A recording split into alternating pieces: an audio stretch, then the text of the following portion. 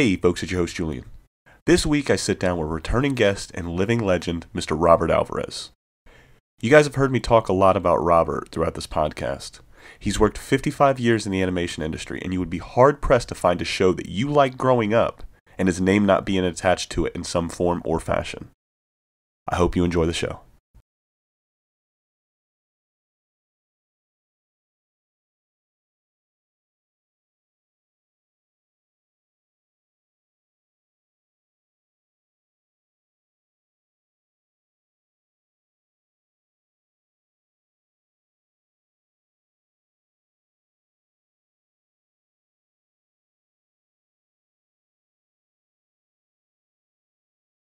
Uh, ladies and gentlemen, Robert here is finishing up later this year his 55 years in animation. I can't imagine. I'm going into year three of the same restaurant. Obviously, for animation, you guys bounce around to different places. Once you find a home like yourself, Hanna Barbera Cartoon Network Studios, and you find a place that you really enjoy, the people you really enjoy working with, you kind of stay there. I can't imagine what it's like 55 years in one job, man. What are some what are some thoughts that come to mind when you sit back and think, man, I've been doing animation for 55 years of my life? Well, what's interesting about it is, um, you know, I was going through stuff today, looking to find things to put up on my Facebook page, and mm. I posted it before, but I'm I, I, will probably within the next couple of days post my uh, copy of my first paycheck from 1968 yeah. and and the, and the building where I started working in, which doesn't exist any longer. And 55 years goes by, believe it or not, incredibly fast because it's like in a blink of an eye. It's I, I'm up to 55 years, and um, I consider myself extremely lucky that I got in when I did, and uh, I've had a lot of good times working in in the industry. I've also had some times that weren't so pleasant because, believe it or not, not everybody in animation is really nice. And um, I've had to deal with a lot of assholes and people that will lie to you and screw you out of money. But that was all part of basically growing up in the business. And I've had made I've made the best part about the working all these years is not so much the shows I've worked on, but the people I've met along the way and become friends with. Because I've worked with some of the most amazing, talented artists in the in the industry, and they're all far better than I ever could possibly be. And my attitude about it was, I'm always sitting in the room thinking, like, any given moment, they're going to walk in the door and say, "Get the fuck out," and because they've discovered me. And uh, but I've had a I've had a, a long run. I've been very lucky. I've won some awards, and uh, I've had a good time, and I, I have no regrets about my my career. Um, I, mean, I, I, wish I was more talented. That would have been nice. I, wish I was a better animator. That would have been even a, more of a plus. And um, I just I'm I'm just lucky, and I'm and I'm grateful that I have the friends that I have and uh, some of which that you've interviewed on your show. Mm-hmm. I still stay in contact, like Sean Cashman and Randy Myers and Paula Spence. I communicate with them by email fairly frequently. And um, I'm glad I made it this far. I, you know, I, I never imagined it would last this long. You know, w- you know, when you're young and you're 20 years old and you and you that first day you start out in animation, and this is back in 1968, you're not thinking about 5 10 15 or 55 years down the road. You're just thinking about i just want to keep going. I i hope i can work next year you know and it, that was the way i used to think about it, my career early on. I would always be concerned about the next year and the next year. And that i didn't get over that for many many years until finally probably in the last 10 15 years at cartoon network i just got relaxed and i just thought i'm not going to worry about it anymore you know and and most of that time I was under contract to them anyways. And um, so I, I finally relaxed after many, many years. But, you know, not everybody's that way, but that's the way I am. Beautiful. And uh, like I said, this episode, ladies and gentlemen, we're going to jump all over the place here with uh, Robert's career, but there was something that he dropped that I didn't know about uh, right before we hit. And I said we had to we had to bring it back up once we hit record, man.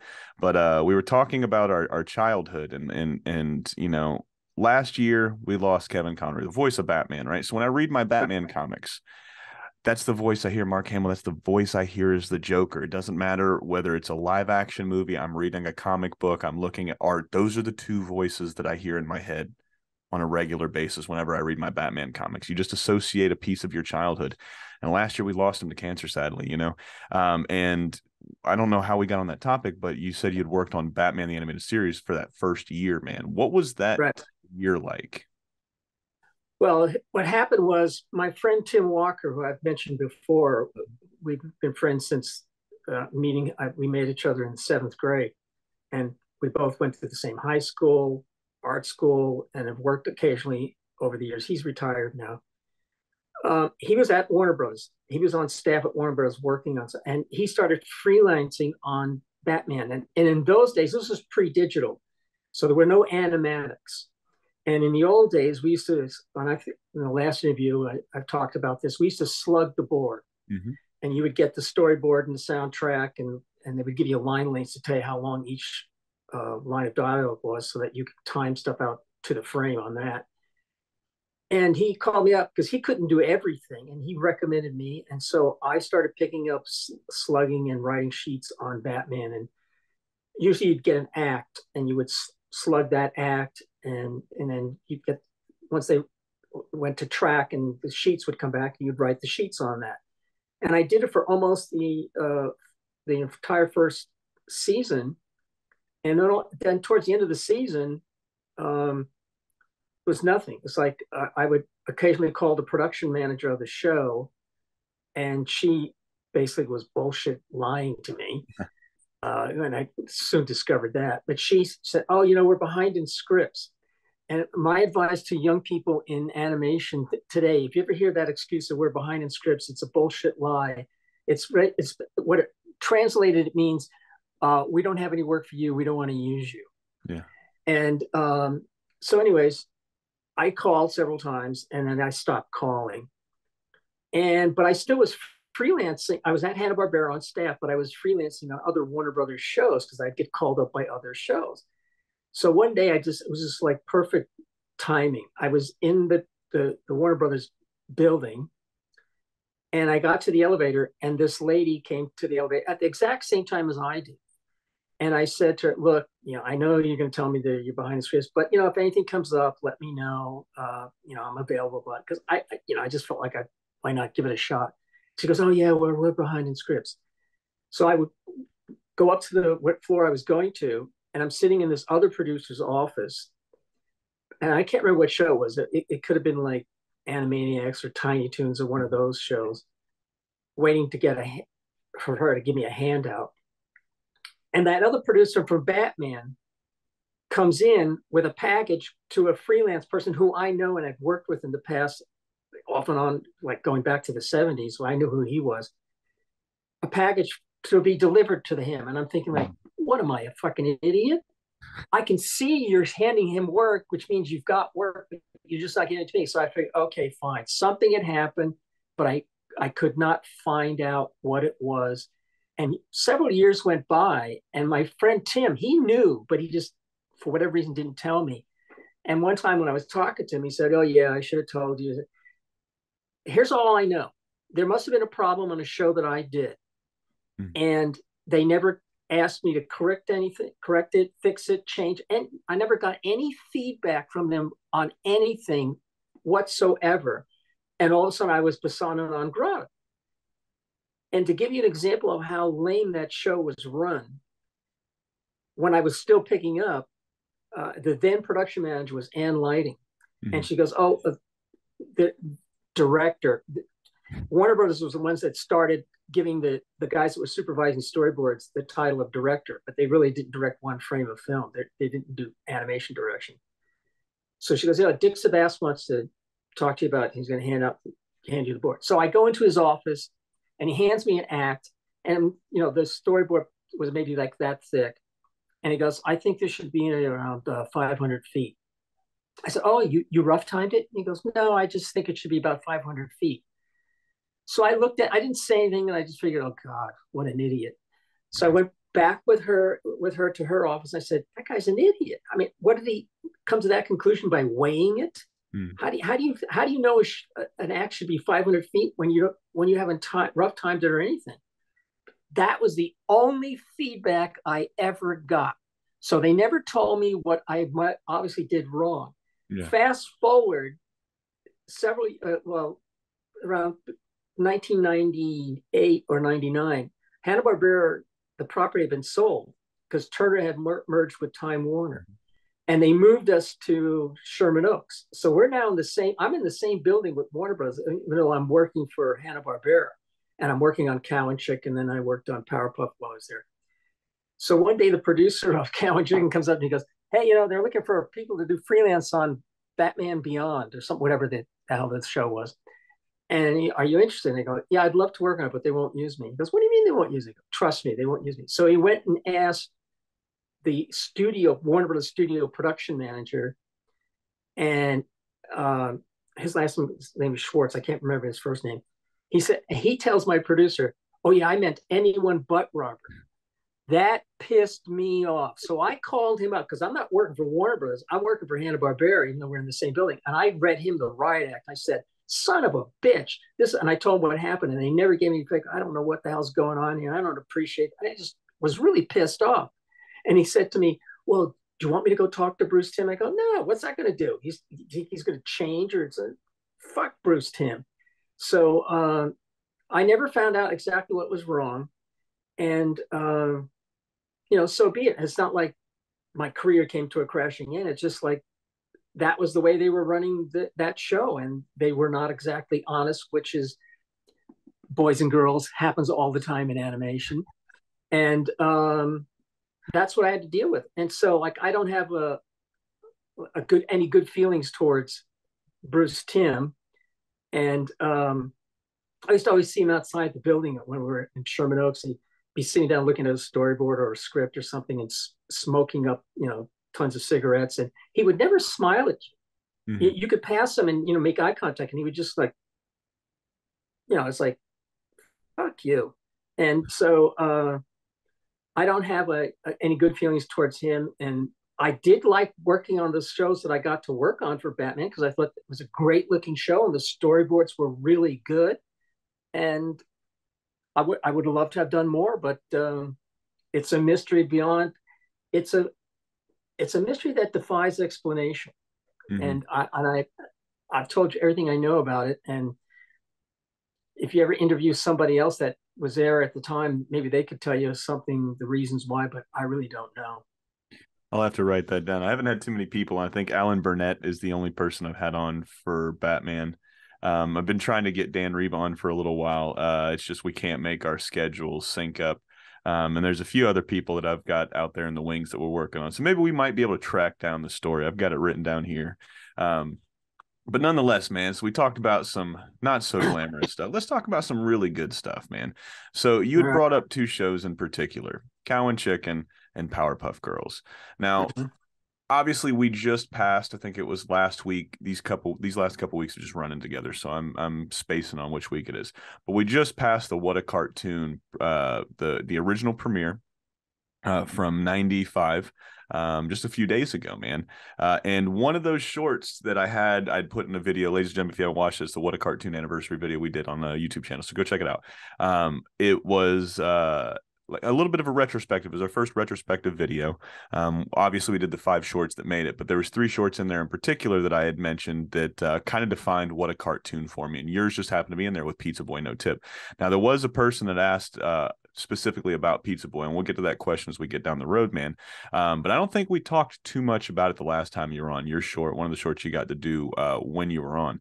So I would love to know from start to finish how this one came about, and then we can kind of dovetail into a few other periods of your uh, of your career, man. But where were you at when you thought up the idea of Pizza Boy No Tip?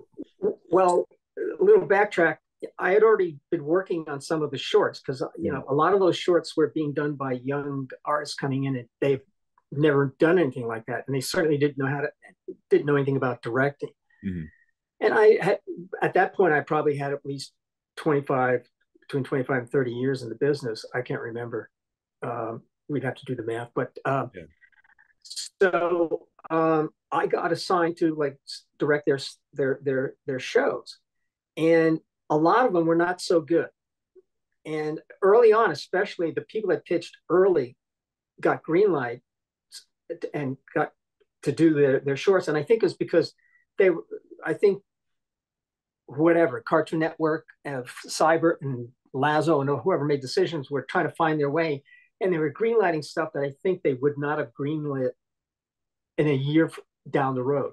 Yeah. So I'm working on a lot of these stuff, and I'm going, you know, this is not funny. This is not that good. And, I, I actually thought to this myself. I, I thought I can do something as shitty as this, and um, so I, I don't know. I was doing some sketches, I think, in my office at Hanna Barbera, and I drew this drawing of Pizza Boy, and I just labeled it Pizza Boy.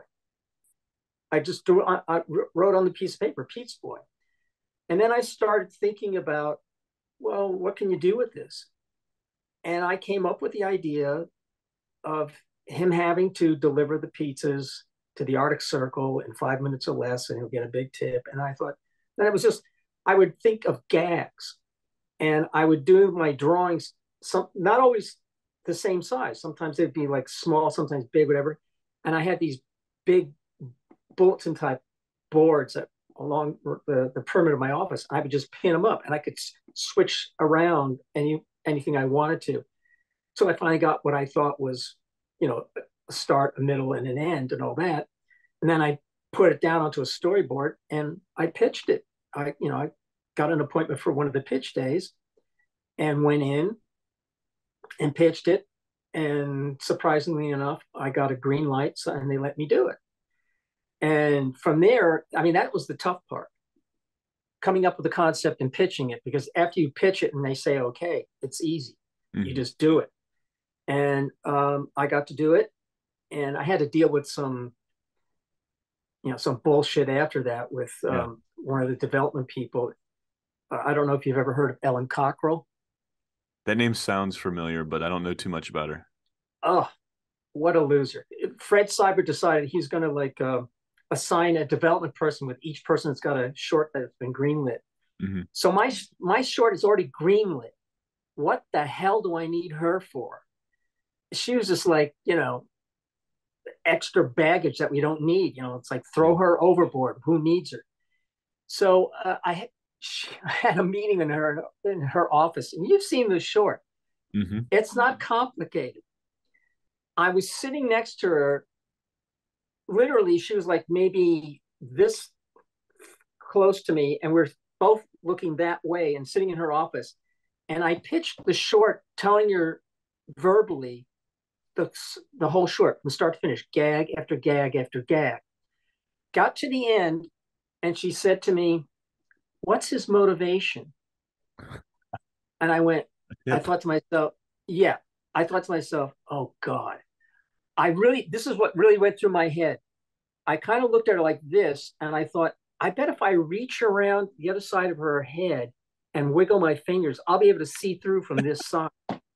That's what I, that's what ran through my head. And then I started talking to her like she's in, you know, the fourth grade. And I went, well, if he delivers these pizzas to the Arctic Circle in five minutes or less, he's going to get a big tip.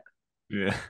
oh, and that's that's some of the things you had to deal with at that time and you know it was just you know I, I, I did my short and that was the end of her and um and it was fun and i i used some of my friends to do mm-hmm. layouts on it but andy Bioch did some layouts on it craig kellman did layouts and mark Kausler did layouts and i did layouts.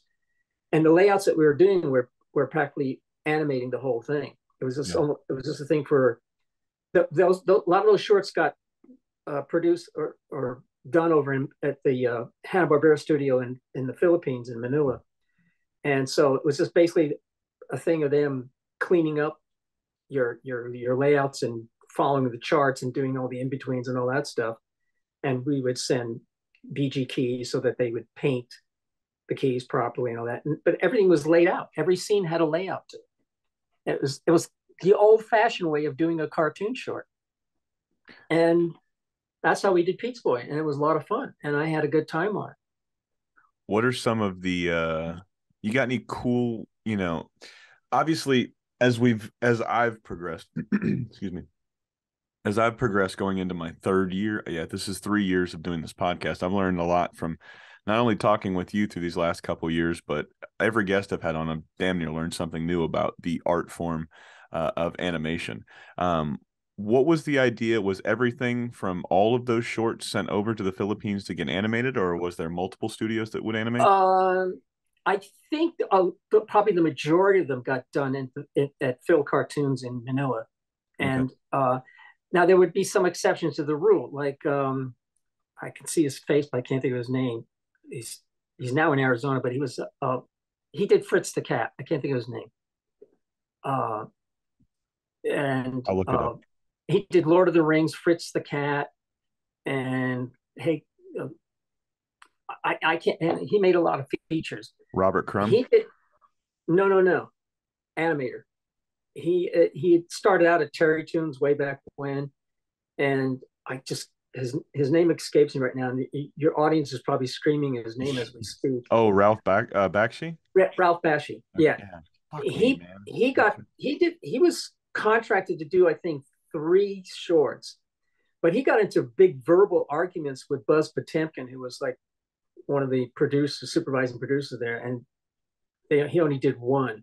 Mm-hmm. So, but his stuff was done somewhere back east, and then there was a guy in Italy that did one or two shorts, and so they were done in Italy. But the majority of them were were done in Manila, and uh, with the except like, but there's our exceptions like um, David Feiss, his his cow and chicken, he did everything himself, and it was all done here. And they probably sent it out I don't know where he sent it to, for ink and paint camera. Maybe it did go to the Philippines for that, but he animated everything, layouts and all that. All it was like a one man show. But yeah, the majority of them were done in Manila, and they did they did excellent work. Now, did when you guys did a short, would you get to pick where it would go, or was it just by production schedule that's where it would go?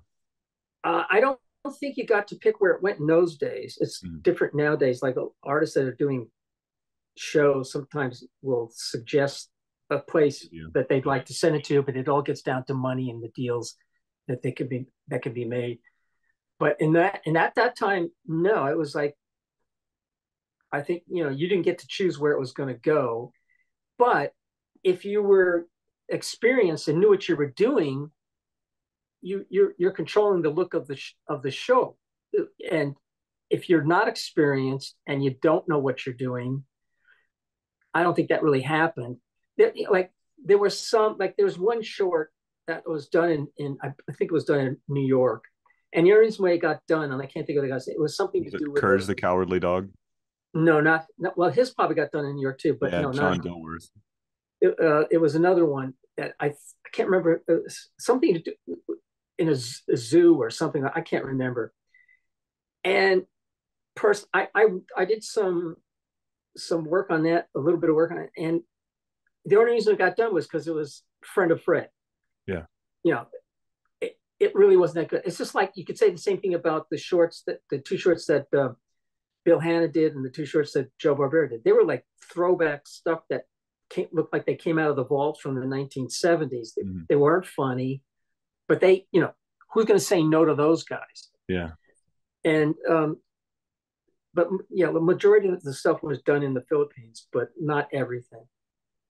Now, looking back, obviously that's a long time ago. It's 95. So we're 28 years uh, from that initial What a Cartoon initiative.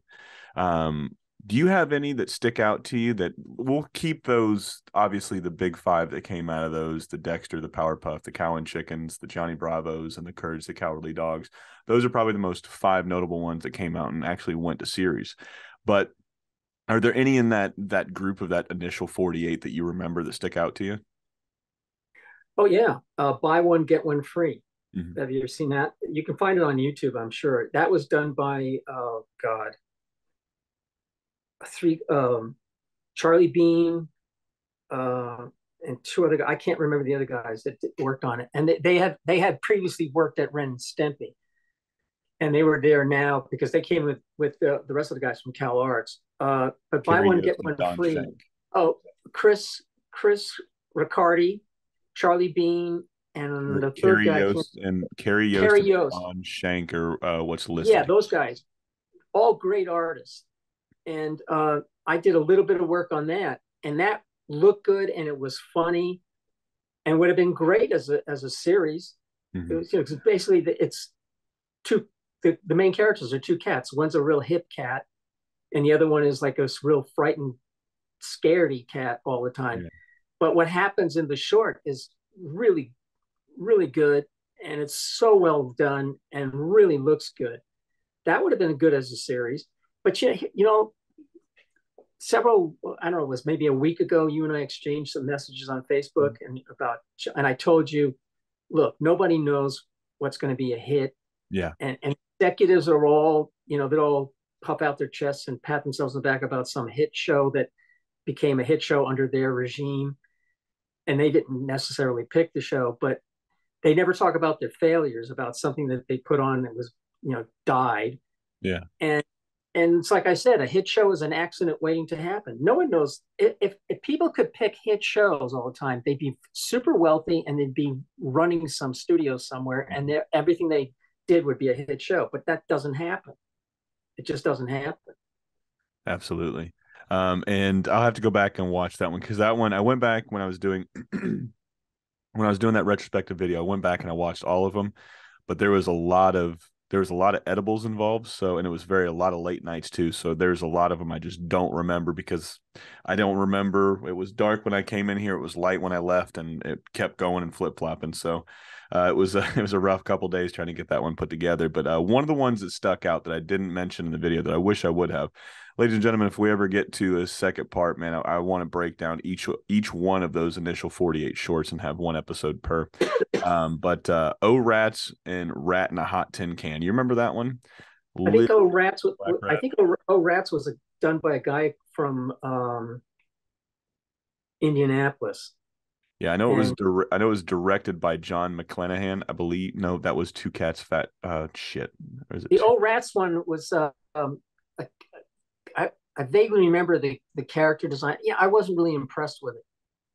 It was. Uh, Now here's here's something else to remember. You know, I have a lot of opinions. Mhm. They're not necessarily going to be agreeable to a lot of your viewers.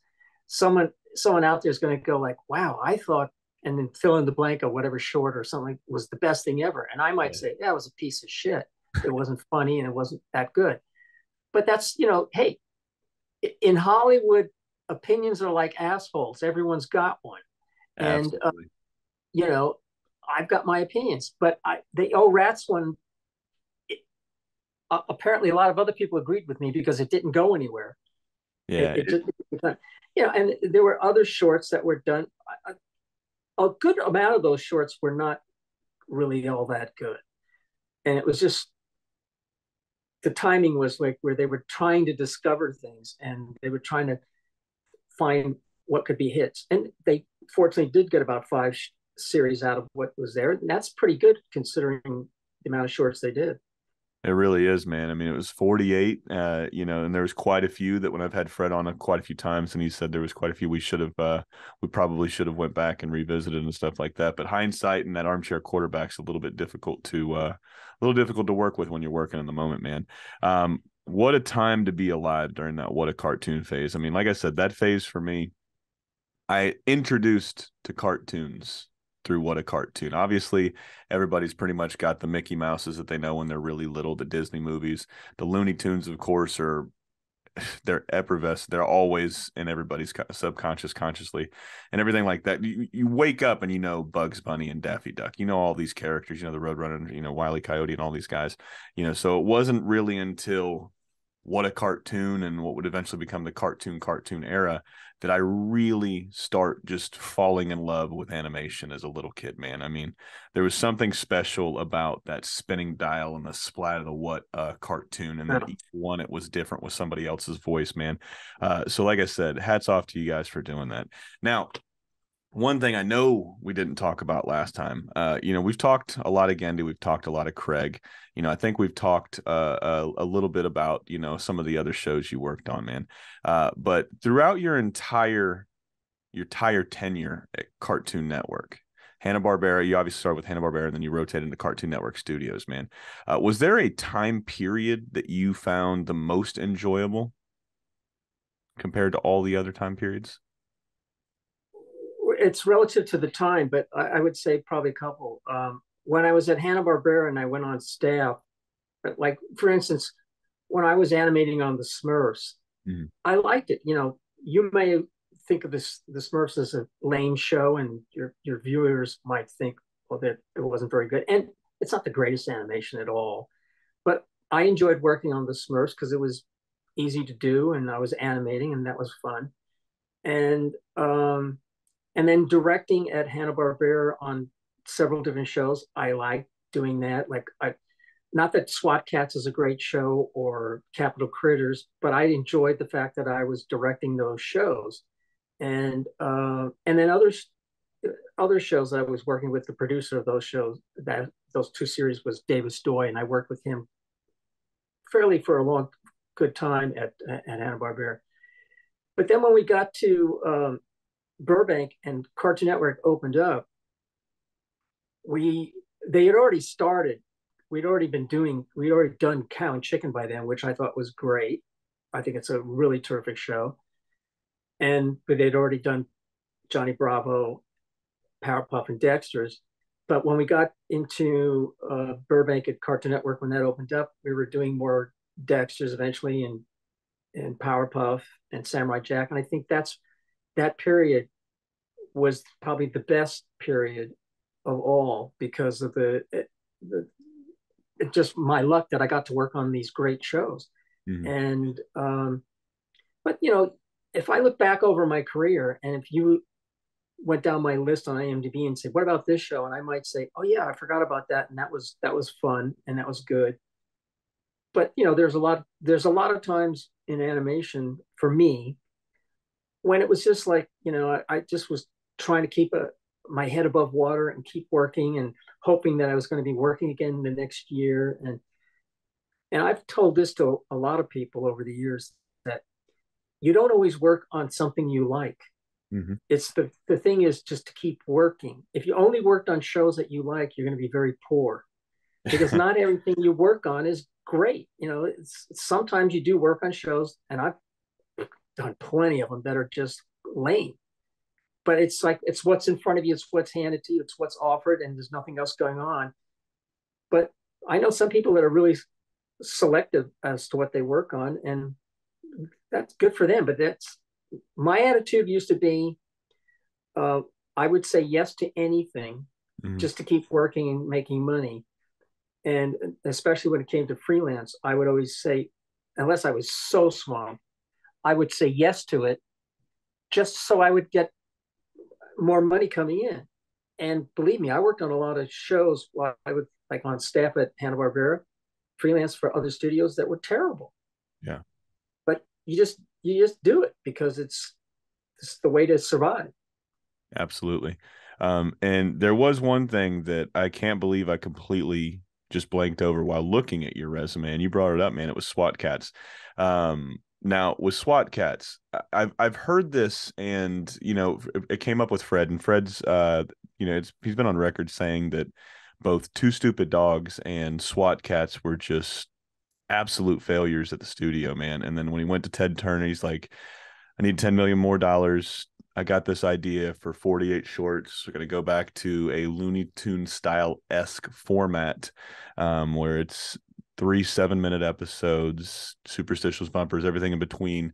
And we're going to push this initiative where we're going 48 straight weeks of a new show each week. Now, I I don't see where he was coming from as far as just the success of those two shows because I, I, think it's a lot like the the the opinions man because where financially it might have not have been a success or you know maybe some people just didn't get it. I absolutely love those two shows you know two stupid dogs and SWAT Kats.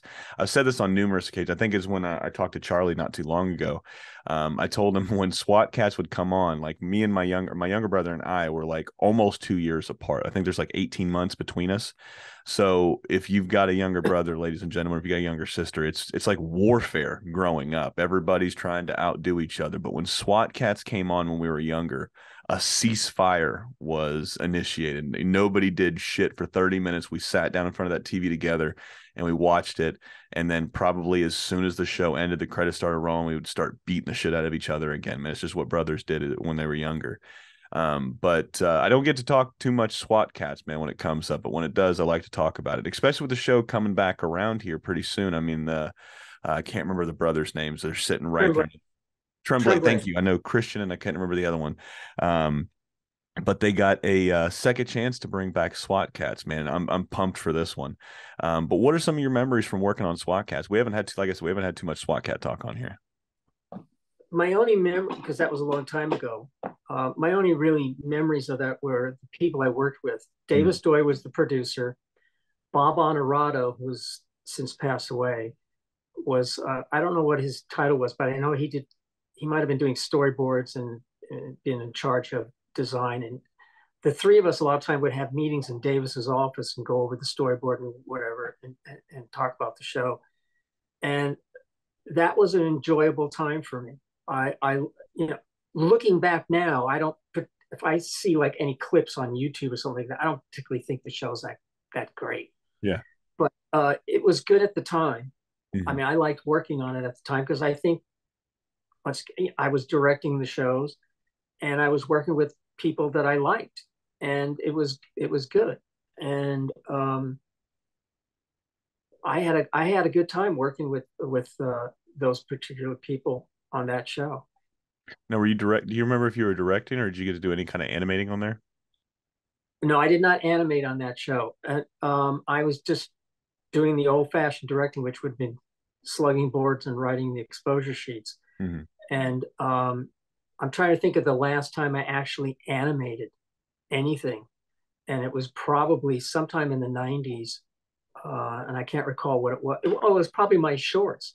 Yeah. Because after I did my shorts, I don't think I, you know, I don't think I did any more animation after that again.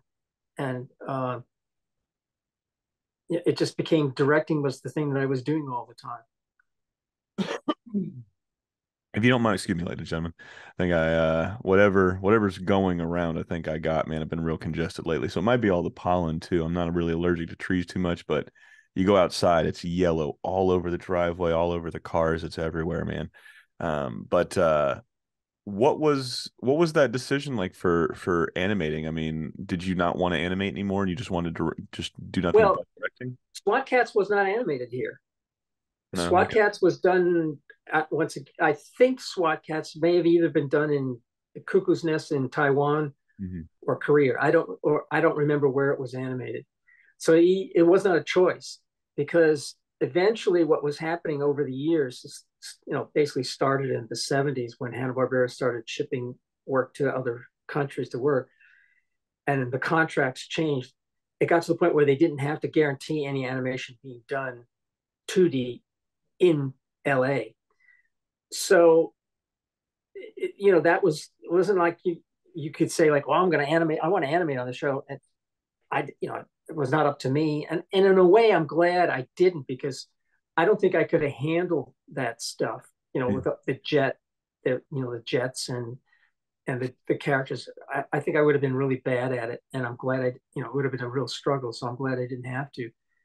But uh, you, it was no, there was no option there.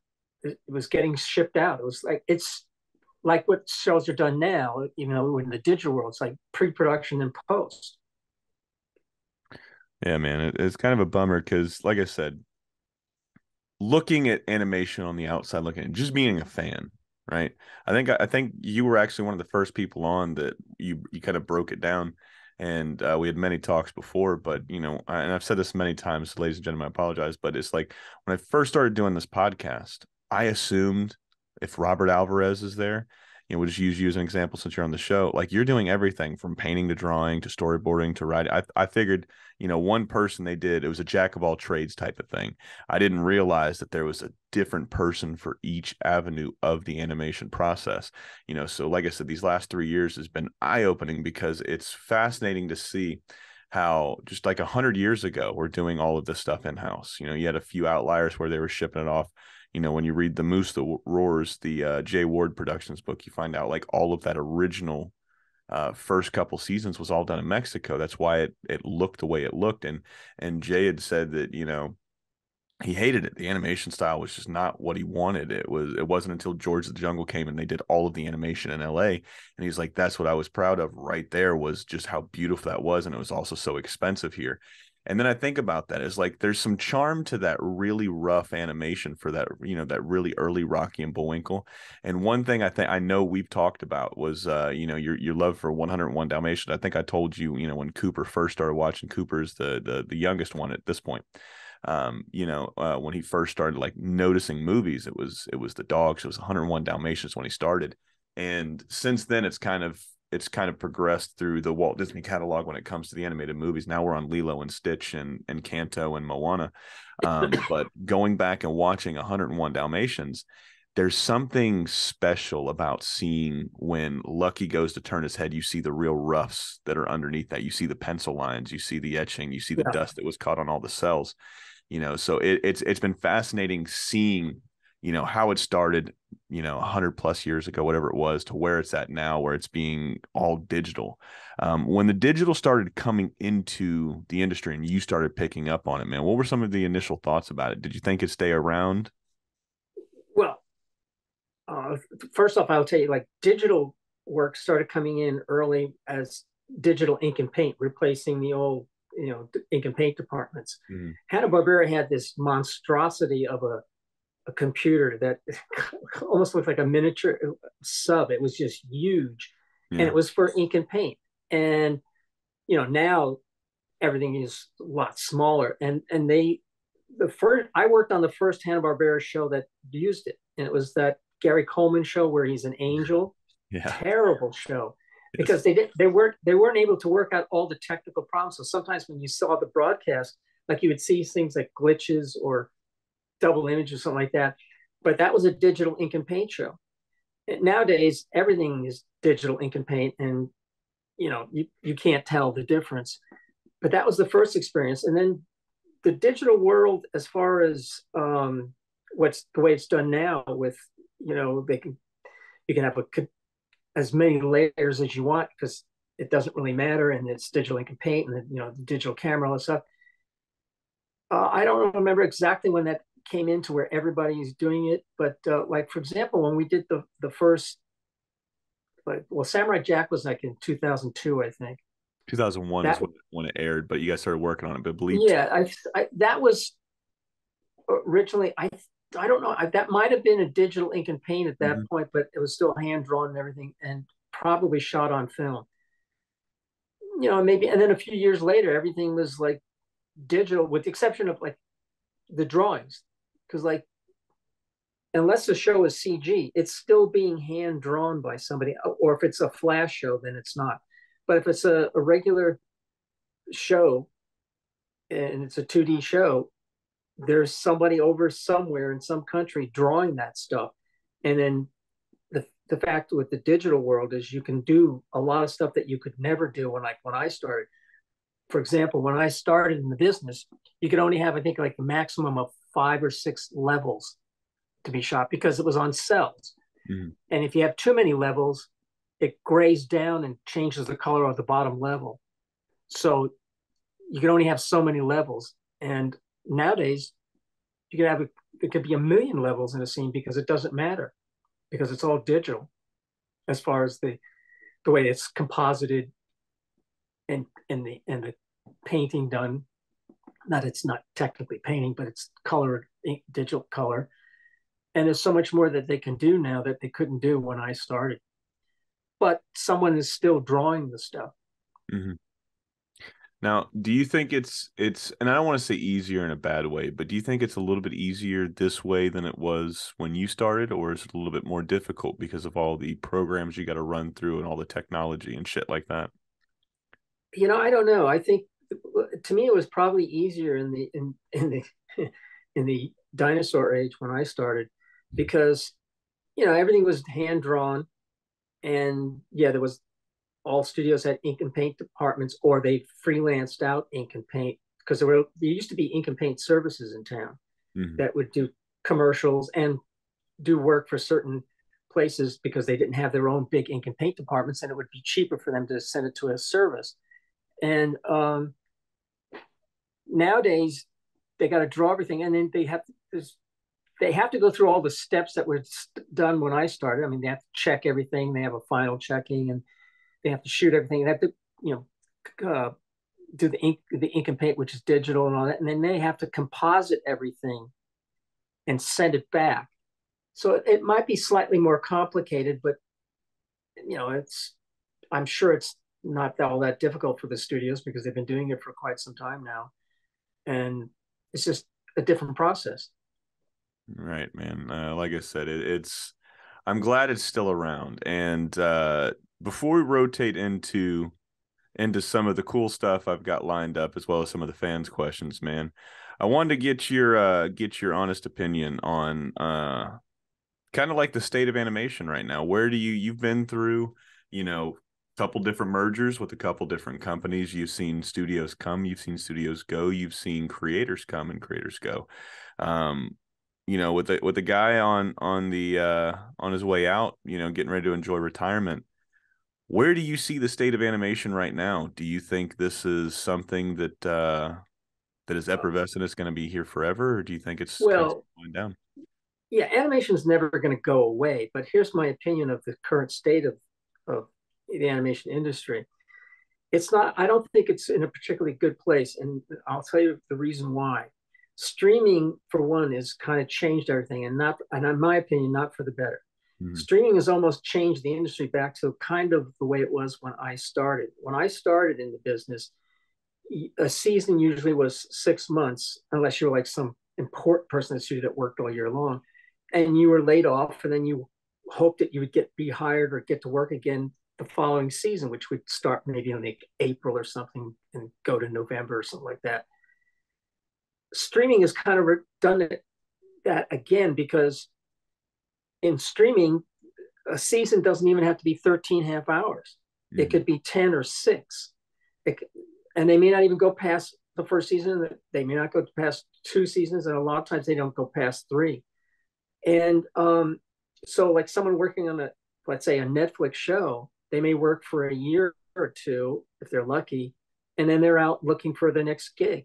There's no guarantee that they're going to get hired onto another show at Netflix because it's not like the old days where you would see the people in the studio because a lot of people are working remote and you'd be in the studio and, and you could go talk to somebody and go like hey i'm going to be winding down on my show or the producer would say hey robert's going to be done with our show and can you use them you know on your show it doesn't work that way any longer so for the young artists i think it's really it's kind of sad because anyone's only got maybe five years in the business they have no idea what it used to be like Mm-hmm. They don't know what like the golden age was like, and um, so they have struggles.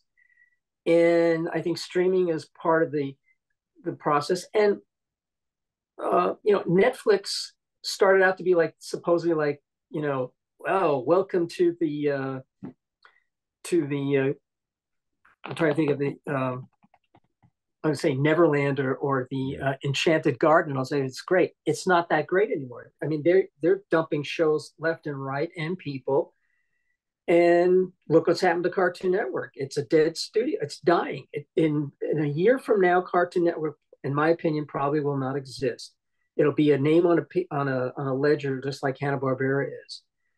And it's just not the it's not the same as it was even five years ago. The hmm. industry is changing. Now, maybe in five years, I was recently talking to Craig McCracken, and he was telling me like a lot of studios, Netflix being one, They want to do existing properties as opposed to doing something new. Mm-hmm. Maybe in five years, they'll studios will or networks will want to do new materials. So right now, the industry is kind of going through a, a stagnant state, in my opinion.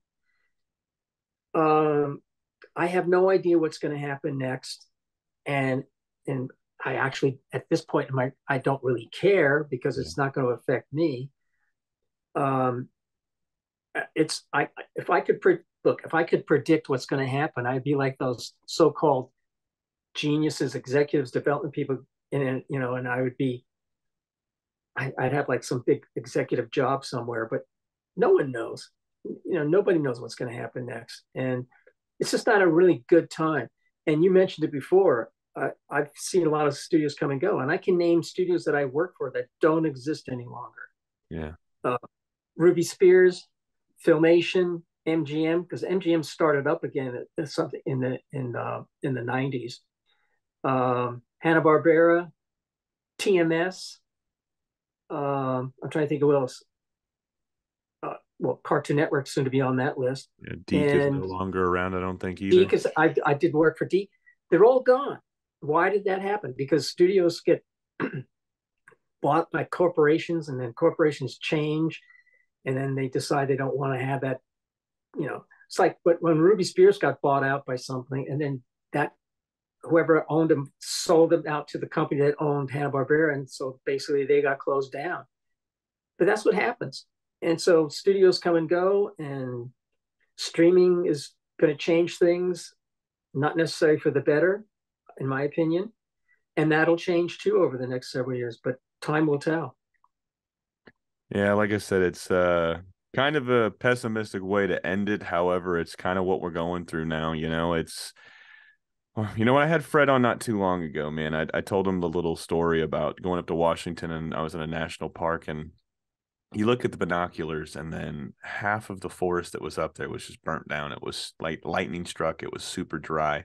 Everything burnt the ground. And I'm sitting next to there and there's a tour guide over there. Is uh, one of the national park rangers is there. She's like, look into the binoculars. So I'm looking around. She's like, what do you see? I was like, I see a lot of green on the ground near, near where all the black burnt stuff is. And she's like, well, that's new growth. 10 years from now, 15 years from now, 20 years from now. You know, she kept going on and on and on. She's like, there's going to be new growth. It's going to be the trees are going to go higher, uh, you know, going to grow higher. Uh, there's going to be more vegetation. There's going to be more animals here. You know, so hopefully that's kind of what's happening in animation right now. You know, there was a lot of stuff that was started up, you know, prior to and especially during the pandemic when the pandemic first kicked off and then it just it's trying to right itself now i think is what fred was saying it, it, it was going so far to one side it's trying to balance it's trying to come back to the middle.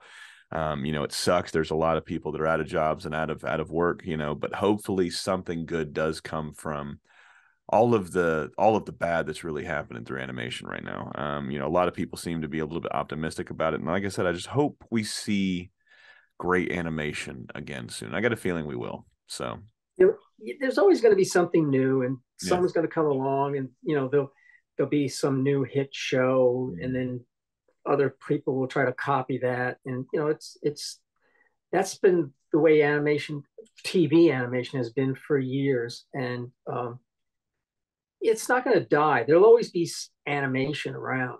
Yeah. Uh, you know you're you know 20 years from now I, I seriously doubt i'll still be on the planet but 20 years from now you you will be able to look and see like maybe reflect back on these conversations you had with different people from the industry and you'll be able to see what has happened over the 20 years. Some of it's going to be good. Some of hmm. it's not going to be so good. But it'll, it'll still be there. It's always going to be there because ultimately corporations now that own the networks and all that stuff they can make money on animation especially if they get into something that they can merchandise Mm-hmm. They can make money on shows and it's cheaper than live action. So they're always going to do it.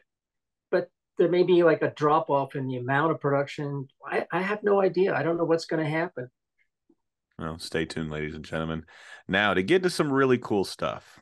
Now, when I knew I was going to have you on, first, before we get to the really cool stuff, man, Robert, I, I think we got to do this more often. I think two years ago was when the last time I had you on here. Yeah Yeah, roughly two years ago. That's way too goddamn long, man. I'm gonna have you back on here again. The next time, I figure what we can do is we can throw uh throw a little throw a little uh, vote out there for the fans, and we'll pick a time period. We'll pick a few different shows, and then we'll know way ahead in advance the next time you come on and what shows and everything that uh, everybody wants to hear us talk about. And then uh, we'll we'll just dedicate a show to that man because there's one thing I've really enjoyed over these last couple years getting to getting to talk with you man because uh, you're like I said at the beginning of the show you're one of those guys that I can reach out to that obviously ladies and gentlemen you made it this far. You know Robert here straight shooter. He's not gonna he's not gonna beat around the bush. He's gonna tell you how he feels he's gonna tell you how you see it. And uh, there's something about that I think that is what's the word? I don't want to say so American because it's not that. Eh, I mean, it's an American trait for sure, but it's like it's it's something that's missing in today's day and age, man. It's just when somebody can just shoot straight with you, cut the fat, and just tell you how it is and how they feel, man. There's something special about those type of people, and you got to keep those people in your lives, ladies and gentlemen. But uh, like I said, we got to have you back on here sooner than uh, we did this last time. But so I had a few people. I reached out to a few people that not only have I had on, but people that saw that you were coming on and wrote into me. And then when they wrote into me, I was like, hey, I would like you to write something in for Robert. So we've got a couple people here that I'm going to read off to. Uh, and the first one, uh, he said, he, you might remember him as Paul Steck. Do you remember a Paul Steck? Yeah, Paul Steck. Yeah. Yeah, so he wrote in, and because he saw my post, and he was like, uh, he so he, he read this, or he wrote this, excuse me, Unless you were there, it's hard to understand how instrumental Robert was in what he did. He's an icon and a true OG. His influence on the industry is much bigger than even his massive list of credits on some of the most seminal shows ever produced. As an art director, it was always a joy working on episodes with Robert. He was a true artist's artist, always open to ideas, and excited to take the work to the highest level possible. After leaving Cartoon Network, I would drive by on occasion to roam the floors to see who was still there, Robert's office was always on my list to find and poke my head into. That playful, devious, warm smile and genuine joy in seeing an old face from the heyday would be everything. Thank you, Mr. Alvarez, for making what we did that much more awesome. Three cheers for Robert. Hip, hip, hooray, hip, hip, hooray, and hip, hip, hooray. That was from Paul Steck. Yeah. R- Rob Renzetti wrote in. I got, I got along, I, I, just want to say, I got along really well with Paul. Yeah. And um, to me, he was always nice mm. and um, talented artist, and um, he's very kind to say those nice words. Yeah, man. Thanks for thanks for writing in, Paul. So we got another guy that wrote in here, Rob Renzetti, and this is one thing. Like I said, I, how's that? No, I'm laughing because I I can almost imagine what Rob's going to say because uh, at, at my on January 20th they had like a Zoom mm-hmm. retirement type party for me at and tons of people showed up and got the invites. People that weren't no longer working at Cartoon, and Renzetti was one. Yeah. And Renzetti a lot of times can talk like me, you know, like mm-hmm. he doesn't censor his words, and uh, so I can almost imagine what he's going to say. Oh, he was very nice in here. He he I I think I don't I don't want to say he censored anything, but he was very he was very nice in here, and uh, this this is by far one of my favorite ones that wrote in. Um, and he's such a cool dude, man. And, and he also had, like I said, when I when I talked about those shorts in that last video, yours no uh, Pizza Boy No Tip made it, but Mina and the Count made it as well. Right. That show yeah. in particular, I didn't know, and I, I, think we might have had this talk. I didn't know what UPA was until Cartoon Network, which is sad when you think about it. When you're a little kid and you don't have the internet, you don't have books, you don't know any of this shit, and you're just trying to learn mm-hmm. it out. Everybody starts from a from a from a unfamiliar standpoint when you're learning anything you know so it was really this show that kind of led me like wow that looks really cool. And then seeing other shows when i stayed up late at night i was like that looks really familiar. And then i would see the upa logo or when i started doing the stuff that i'm doing now and i'm really digging deep into to all these all these guys and gals that have worked in the animation field and knowing that a lot of this stuff was because of the upa guys man. So it, it's just a fascinating time. But rob had this to say when my crew of know it all, know nothings arrived at Hanna-Barbera, Robert Alvarez welcomed us with open arms. Robert actually did know it all, and he was generous enough to show us how things were really done. We were enthralled by Alvarez's tales of days gone by and delighted by his sarcastic sense of humor. We grabbed on tight to this legendary man and refused to let him go. All of us have benefited from his talent and bathed in the glow of his larger than life personality ever since. Rob Renzetti he's very kind. I, I, I, would just tell you something about UPA. When I was like 12 and 13, mm-hmm. I used to ride my bike a lot of times with my friend Tim to UPA because it was still there. And one of my one of the things, and I you've seen me post a lot of stuff mm-hmm. from UPA, and because I would, we always went, first thing we do is check the trash cans to see yeah. what it was found and take whatever we could find. But one of the nice things I like to do, and I would go up to their, they had a big glass door, the front door of the studio, and uh, Tim and I would go up to the door and just look in and stare at all the matted cells up on the wall. Mm-hmm. And to this day, I don't know why we didn't open the door and come in and say, "Can we just look?" And yeah, what, the worst thing they would have said was, "No, get out." So we, we never went in. But uh, UPA was like a one of my favorite places to go to, just to see what we could find, and you know, we'd try to look in the windows and see if we could see anything. It was a great studio. Unfortunately, the building was bought after it was sold by Roy Disney Jr. Mm. And most people don't know this, but that building was designed by the architect John Lautner, who was a student of Frank Lloyd Wright. And he did some amazing houses that are still in existence in LA and all that. And he designed that that studio. And that's why it was different and nice looking. And thank you, Roy Disney Jr. He tore it down and put up a, a modern building on, on the on the property. So that, that building no longer exists. Days gone by, man. It's uh that other than Cartoon Network Studios, uh, you know, that that studio in particular, I'm working on a UPA project. I'll talk to you about it after because uh, I haven't mentioned it too much. But uh that that that studio in particular, I mean, it's just like I think David Steven Cohen said it best, the guy, the head writer for Courage the Cowardly Dog. When uh did you ever watch that show? I got to imagine you did being at Cartoon Network. Well, you know what? I don't watch everything, and to be honest with you, I was not a fan of that show. I've yeah. seen it, enough of it to to realize I wasn't a fan of the show. Yeah. And uh, but I, you know, I'm familiar with it. But the uh, he, he when I had him on, he he said that he dreams in those colors. Like Courage was a very specific color pattern, and a lot of the shows that were during during this era, you know, Rob's show in particular, Robert Renzetti, um, the colors were so just so vibrant. It was UPA. It was so when when he said that he would dream in the cur- colors of courage, that's what I think of when I think of UPA. I dream in in those shapes, those colors. I mean, one of my favorite cartoons from that studio was uh was it Jaywalker, the Jaywalker? Yeah, I think that's what it was. I just remember as a little kid seeing that and then just seeing the tail lights go by and then the, the lights would change colors and then the headlights would come by and it was just such a visually stimulating show and that's what i remember the most about upa it was there was just something obviously i mean you you you you know the studio better than i do but there's something vibrant about them there was something different about them but the way the colors would come out of the lines it didn't look neat. Going back to that whole 101 dalmatians where you could see the rough animation where somebody drew a little bit too hard with that pencil you could see it under the cells. It was it was something about that knowing that a man or a woman's hand was touching that cell there was something special about that and i, I can't really articulate it more than that. Uh, i mean it was just that studio was so fucking special um, I, I, will tell you two things that to remember about upa one it you know they did a lot of great cartoons in the in, you know during the late 40s and 50s mm-hmm. you know before they got into the 60s where everything was you know far more limited lesser budgets but there's one cartoon you can find it on YouTube. It's called Unicorn in the Garden. Yeah, and it, that, that is an amazing cartoon. Look at the design, the color, the way they the, the layouts are done in that. It's absolutely beautiful. And uh, the man who directed it was Bill Hurtz, who eventually mm-hmm. then went on to many years of working and directing for Jay Ward. And I had him as a teacher in 1967 at Chouinard. And that was the first time I got to see Unicorn in the Garden because he brought it to uh, to class and showed it to us.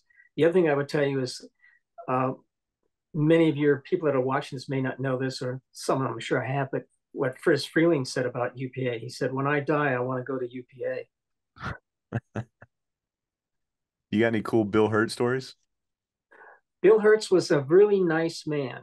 Mm-hmm. He would bring uh, stuff that he had worked on to show us he even had uh, his the class over to his house one night. And uh, he lived in this house in the valley, and he was just really, really nice. And later, after I was out of school and working, I worked on the the uh, film that TMS did, Little Nemo in Slumberland. Mm-hmm. And Bill Hurtz was the supervising director on it. And I got to work with him again because I did some sequence directing on it. And I can remember going back to his house to pick up work on a Sunday afternoon or something like that. And I was, he had like a little studio in, behind the garage in his backyard. And I remember sitting in his little studio while he was in the house doing something. I was just looking around, lifting up things to see if I could find anything interesting. And he just was a real pleasant man. And to show you, uh, I read an article once. I, I don't know how I found out this, but he got arrested with his grandson for doing graffiti. and and and that's Bill Hurtz. I mean, he was a he was a, a, a, talented artist, really great to work with, and he was a great teacher. Oh, that's really cool. Thanks for sharing that, man. Um, I can't wait. I'm just gonna say it now. So we're working on a we're working on a multi-part episode series, I guess. Me and another guy that uh, does a podcast called the Animation Destination, uh, Brandon, and um, we're this will be the first one we do. We've we're being very what's the word ambitious. That's the word, Robert. Super ambitious with this. So we've picked three uh, studios that we're going to do. The first one, obviously, we're going to do J, uh, not Jay Ward, excuse me, UPA. The next one being Jay Ward, and then the third one being Fleischer when we get to it. Now, obviously, we're going to I'm trying to start shooting. Uh, I've got a few books I'm reading through now about UPA and then that whole era for the strike and everything that led up to it. And then just trying to get as much surface and then subsurface information on that entire climate that was going on when UPA was formed. Um, so a lot of irons in the fire right now with that one, but uh, we're we're hoping to have something out later this year on UPA. It's going to take some time because we've got a few people that are coming around from authors to to fans to family members of some of the UPA guys. Um, so yeah, that's what we're working on. I can't wait to dig deeper. I, am gonna see if I can't find that uh, that that arrest that arrest paper for old Bill Hurtz, and maybe we can work that into the. Yeah, you know, I don't know. There also is a. a, a I'm gonna see if I can reach over have it here. I have a book that is a. Um, yeah, got it right here. I don't know if you can buy this anymore, but Amid Amidi, who does uh, Cartoon Brew, did yes. this. You have this book? Uh, I've uh, he sent that to me on um you can get it oh shit what's it called it's it's well, dot org site because that's like a six hundred dollar book now. This so, uh either that one or um no, six hundred modern no modern cartoons or cartoon. Oh modern, yeah, that's that different. one is an but, expensive book. Yeah, if you have this, then you can you can when you do your podcast, you can probably edit in some of the photographs on this book because you know you can see what the studio looked like and um, you know just various pictures of people working at the studio. It UPA used to be there's a, a really famous restaurant that's right across street from Warner Brothers mm-hmm. called the Smokehouse, and it's still there. And in between the smokehouse and UPA was a parking lot. So UPA was like right there near Warner Brothers. And um, that book, you might be able to use some photographs from that book. Uh, okay. I've got your, if, you, if you're going to edit in pictures and stuff. Yeah, we're gonna we're gonna kind of do it um like we'll do long format with a lot of the guests, and then we're gonna take pieces, and then we're gonna work off of like a timeline like guest. So it'll be from the beginning of the strike and how that kind of happened, and then we're gonna you know announce the players and everything like that. It's in the real early stages of of how we're gonna do it. We're gonna record everything and then pick and choose and put plug and play different people into different things and just work our way through the entire history of UPA. Um, another another great one if you haven't read about it or if you haven't gotten it up uh, is when Magoo flew. Have you read that one by Adam Abrams? I you know I think I have that and I'm trying to what I don't I don't remember what the cover. I think I have it. I can't remember. I believe it's just uh Magoo on it. It's a it's a black book. Uh, I got to pull. I think I have that book.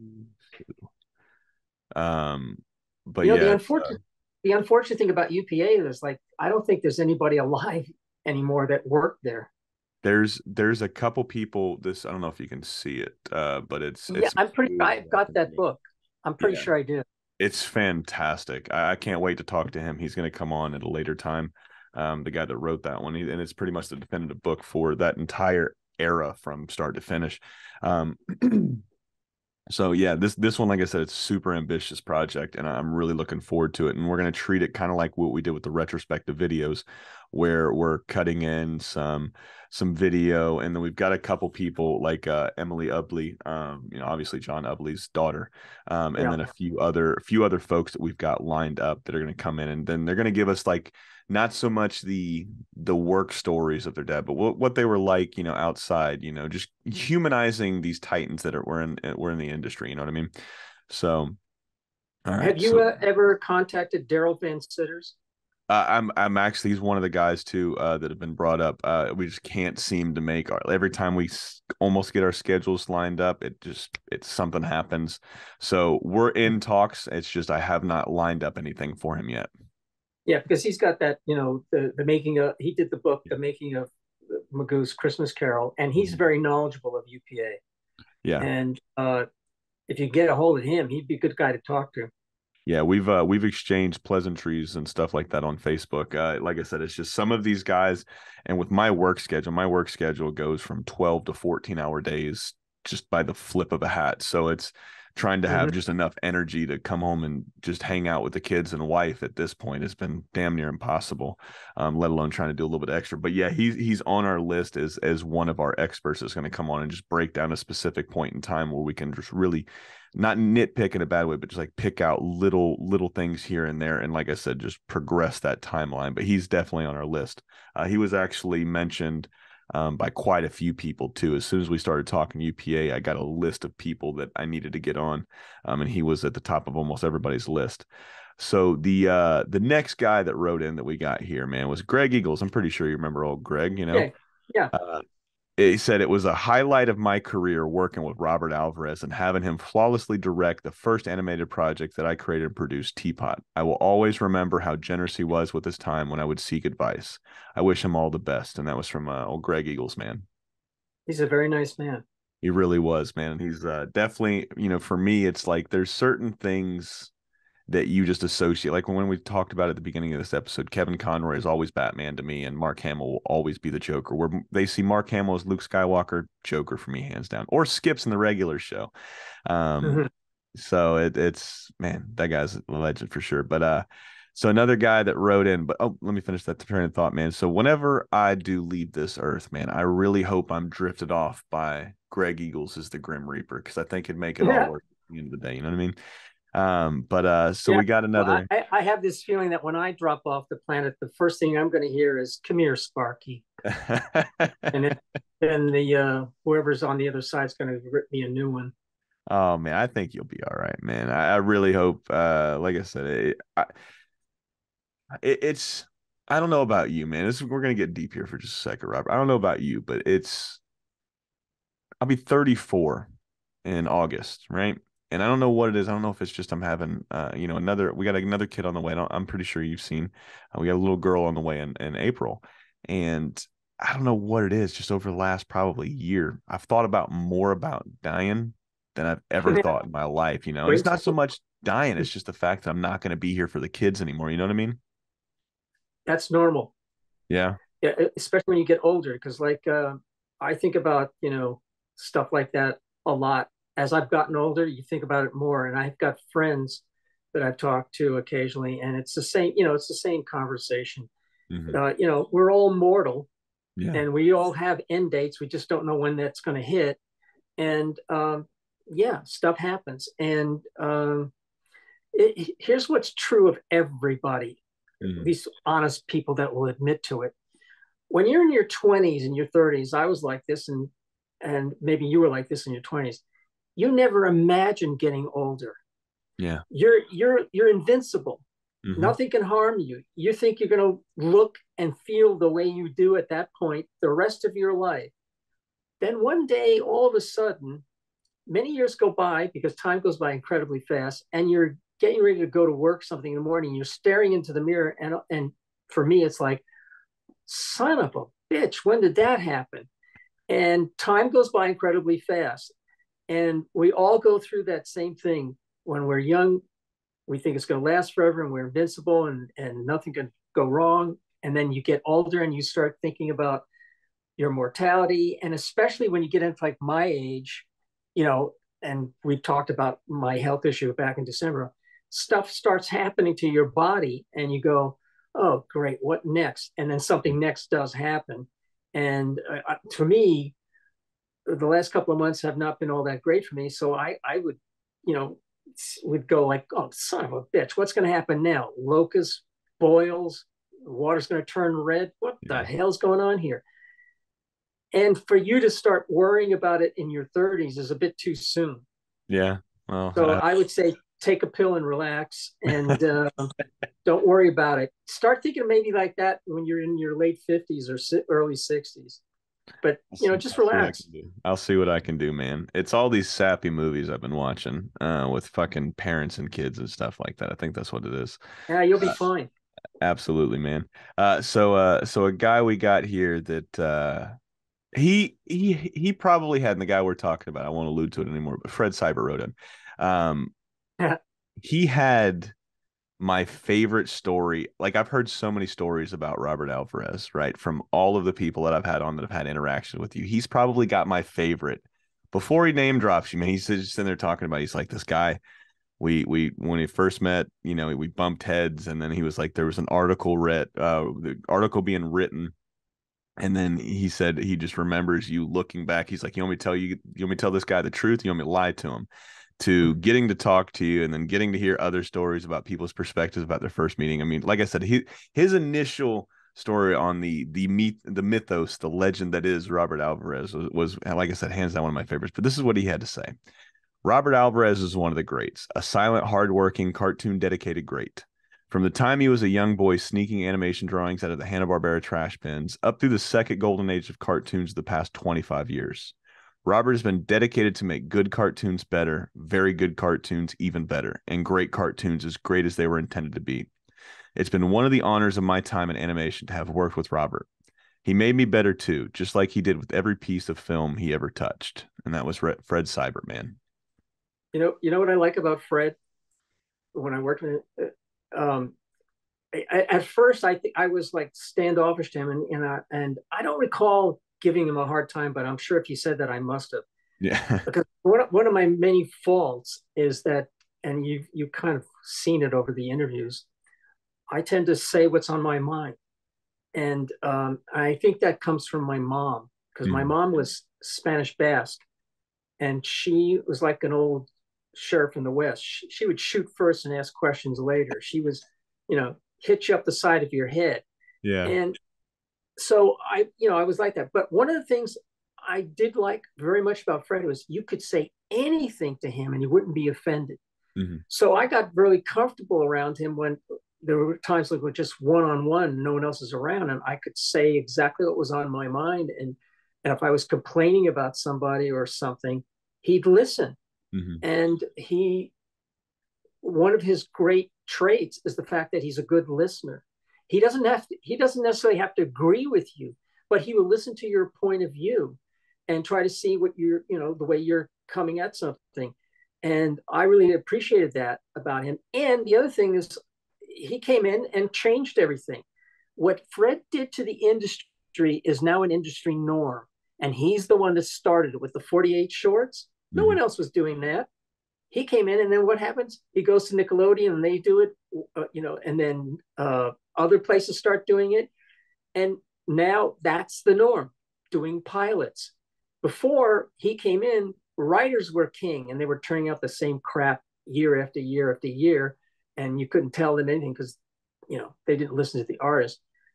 But Fred changed everything, and he changed it for the better. And uh, I just consider myself lucky that I was a Hanna Barbera when Turner bought it, and Fred came in and ran it because he he just completely flipped everything over and made the industry great. Absolutely, man. Uh, and this one is actually from your buddy that you mentioned just a little bit earlier, uh, old Shaun Cashman, man. Uh, he's got a little bit of a long one, so buckle up, ladies and gentlemen. It's a really good one too. Uh, when I got to Cartoon Network, I had spent the better part of my career in TV animation on The Simpsons and King of the Hill, half hour animated situation comedies uh, that had timing sensibilities on both ends of the spectrum. Although, although there were times when the writer produ- uh, producers would tell us we were going to a little too cartoony in animation, The Simpsons too cartoony. Anyways, at Cartoon Network, I had the good fortune of landing on the grim adventures of Billy and Mandy as a director and eventually supervising producer. That show opened up the floodgates to a whole new approach to timing, timing that I personally favored, but up to then had not had not had the opportunity to do. My adjustment from prime time timing to cable TV timing was a little tough at first. Thankfully, Robert regularly freelanced as a director on the show, aside from all the other hard work he did on uh, other shows at the studio. He was very kind and generous in giving me a copy of one of his slug storyboards from the Pro- uh, Powerpuff Girls, as well as a section of X sheets from an episode he directed. I have to tell you, for me, it was an epiphany. It was exactly what I needed a whole new and different approach to timing. Animation opened up to, uh, for me from the point forward, and I kept the storyboard and pile of X sheets close to me from then on and to this day. What I learned from Robert uh, has stayed with me, and I apply it to my work to this very day. Thanks, Robert, for your help and guidance and for being my friend. It's from Shaun Cashman. Shaun is a great guy, and uh, he's one of those guys that actually stays in contact with me almost on a weekly basis to see mm. how I'm doing because yeah. he's know he, he knows what I've been through in the last several months and all that. And he and then we also would complain to each other about where we're working and the problems of work and all that stuff. And it's a great way for him to unload and a great way for me to unload. And I consider Shaun to be one of my best friends in animation, and, or, or just good friend because uh, he actually cares. And um, we used to when we were before the pandemic and I was still working in at the studio and he was already at Disney at this time, we used to meet like about once a month at uh, and go to the have breakfast in uh, this little kind of like small little restaurant, cafe restaurant that was a block away from Cartoon Network. And it was always great because sometimes we would be joined by Brian Sheesley or Russell Calabrese when he was still living out here in California. You know, and it was like four veteran guys that would could bitch about the industry and yeah. talk about stuff, and it was always fun. And uh, to this day, Shaun and I still exchange emails, and he'll tell me about stuff that he's dealing with. I mean, even in his personal life. I mean, and and and I'll do the same with him. And um, I always try to throw a little humor into mine so that it's yeah. not always morbid, but you know, like uh, I have the tendency to look at everything with a sense of humor. Even, you know, I'll give you an example. When my father passed away in 2002, uh, we had a funeral and all that. And um, at, at, after the funeral mass and all that, my brother and I were like the two guys in front that were going to like carry the casket or something. And then there was like four other guys in that. And we got him out of the casket out of the hearse because now we've gone to the to the area in the cemetery where we're going to put him. And I I did not pick the the the plot. My sister had gone and picked the plot. And I looked up like this, and I could see like these high tension wires that were running across the cemetery. And I turned to my brother and I said, "Hey, do you think that's going to give him cancer?" You know, because my dad's dead. But I find I can find humor in almost anything. Yeah. And that's what's good about Shaun because you know even when we're talking about serious stuff, I always try to throw something in that's humorous, and I really appreciate Shaun because he's he's such a really really nice man, and uh, I'm glad that he came to Cartoon Network, and I got to know him. Yeah, it was uh, one of the highlights is just getting to talk to him, and he's actually coming back on the show here soon because we're working on a, a King of the Hill project. Um, and uh, so we got some fans questions here. Uh, actually, no, I got one more. Um, Paula wrote in too. I got one oh, more here. Great. And thanks for setting that one up, man. She was so fun. I think we went for like two two hours plus to almost two and a half hours, whatever it was. She just a, an amazing artist. Absolutely. Um, and just getting to hear just her whole i think what we what we talked about because it was a few weeks back i think all we really talked about was uh you know regular show and everything like that and just little stories here and there. Um you know so she's going to come back on as well and we're going to talk we're going to delve a little bit deeper into a few of uh, a few other time periods in her career. But man she was such a nice person so kind with her stories and time. Um, but here's what she had to say. Robert alvarez and i got to know each other during the first season of regular show I was a little older than most uh, of the other on the regular show crew, and as an art director, I often consulted with Robert. our supervising animation director about story elements and how to handle difficult or unusual scenes. Those work conversations often turned into long talks about any subject under the sun. And one day, Robert said something to the effect of, "You know, uh, you know how this is. You're an old timer. I don't think he realizes it, but that was one of the nicest, most gratifying, and most confidence boosting things anyone has ever said to me. I knew I had arrived." Robert is one of the most respected colleague, one of my most respected colleagues, but I'm very happy to also consider him one of my most cherished friends in the animation world. I've been missing him in our long conversations since working together at Cartoon Network, but I look forward to many more long talks in the future. And that was by Paula Spence, man. So she had some of the nicest things to say about you. The nice thing about Paula was her her office was on, kind of like on the opposite. We were on the third, yeah, the third floor when we were doing regular show at for most of the regular show. It started out on the first floor. Uh, a lot of times especially the, she would get in early just like I would. And a lot of times I would just go over to her room just so I could sit and bitch about stuff. Yeah. And we, we would, you know, pretty much would complain about the same stuff, the problems and issues that were on regular show. And um, she's not as old as I am. You know, I when I said old timer, I because like she was had more years in the industry than yeah. almost everybody else other than me on regular show because most of those people were all very young. Mm-hmm. And she could complain about the problems she had with the show, and I could complain about the problems I had with the show, which were pretty numerous because um, my my biggest problem with the show was the storyboards, because uh, a, a, lot of the talent on the storyboard artists were young, and um, they just made mistakes that because they were young and. Mm-hmm. Uh, and I would go and complain, and I would, and I would, you know, like like hold up something like a storyboard and go like, look at this piece of shit. What am I supposed to do with that? You know, and then we would talk about it or something like that. And it was always fun. And then usually after about an hour of us visiting with each other, other people start wandering into work, and then I would just go back to my room and keep working. So I, I like Paula a lot, and occasionally we do Zoom meetings on a on a weekend just mm-hmm. just you know keep in touch. Yeah, she's great. She absolutely is, man. Uh, one of the one of the favorite people that I've gotten to chat with. All right, so we're gonna get into the fans' questions, and I, I can't remember. Do you know if we ever? Because I don't. I don't even think I had. Maybe I don't. I might have had the sign off with you for the first time, or I might have been one of the first episodes. I can't remember. Um, but do you know if we did a Mount Rushmore the last time we talked? I've seen you do that with other people, but I don't know if we did it. I don't think so either. So we're going to do those two questions and then we'll rotate into the fans' questions. Sure. So you get a Mount Rushmore. You get, and I probably should have told you this beforehand, but I completely forgot because I could have swore we did one. But I, am now that you're saying it, okay. I know we didn't do one. So you got a Mount Rushmore and then you get an honorable mention. So who's on your four for your Mount Rushmore and who's your honorable mention? You know that's hard because yeah. I got to think, and uh, there are a lot of people I admire, and it's some of which your audience probably won't even know. Uh,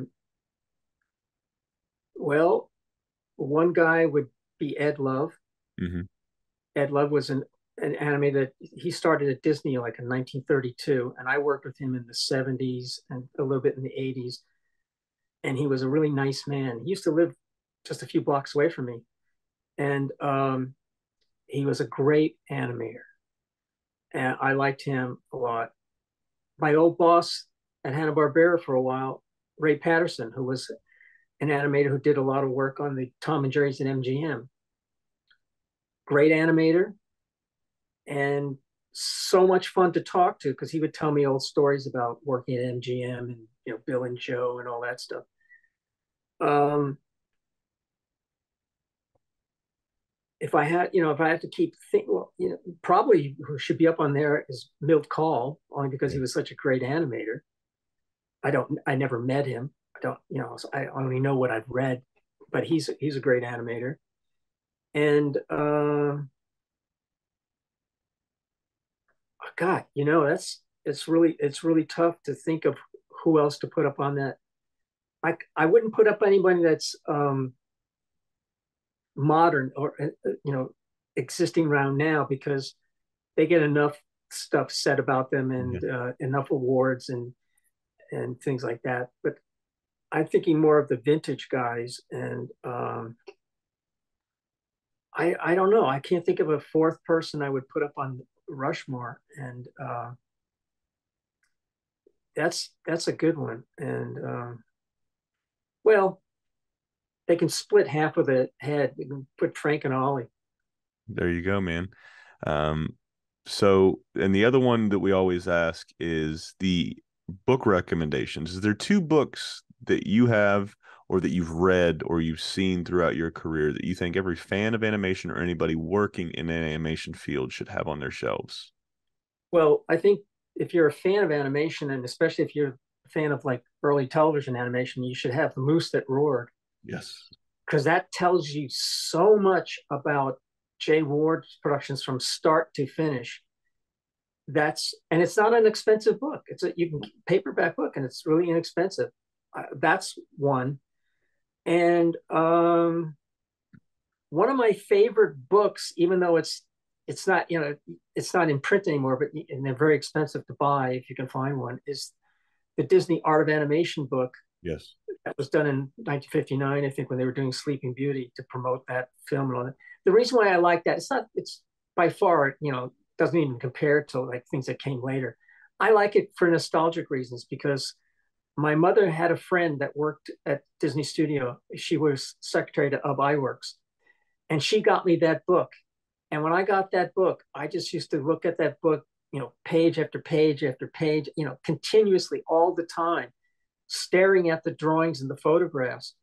And the very last photograph in the book is a photograph of Eric Larson and Walt Disney in the hallway in the animation building, and Eric's leaning on the uh, on the, the one of the walls, I think, and Walt's kind of looking, I don't know if he's looking at him or something. And I found a copy of that on eBay and I bought it and had it framed. It used to be in my office.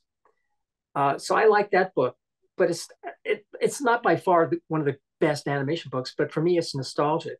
There yeah. are there are tons of, you know, I, I like the animation books that are historical and tell you history, as opposed to like, well, this is how you do a walk uh, gives a shit about that. You can learn that anywhere. You can get the the Foster book on animation, learn how to do a walk. But uh, I like the stuff that tells stories about the studios and what it was work. You know, there's a good book on um, total television. Have you got that one? I don't think so. Let me write them down.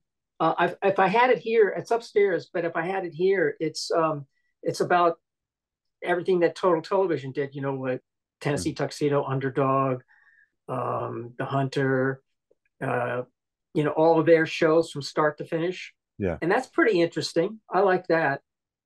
Um,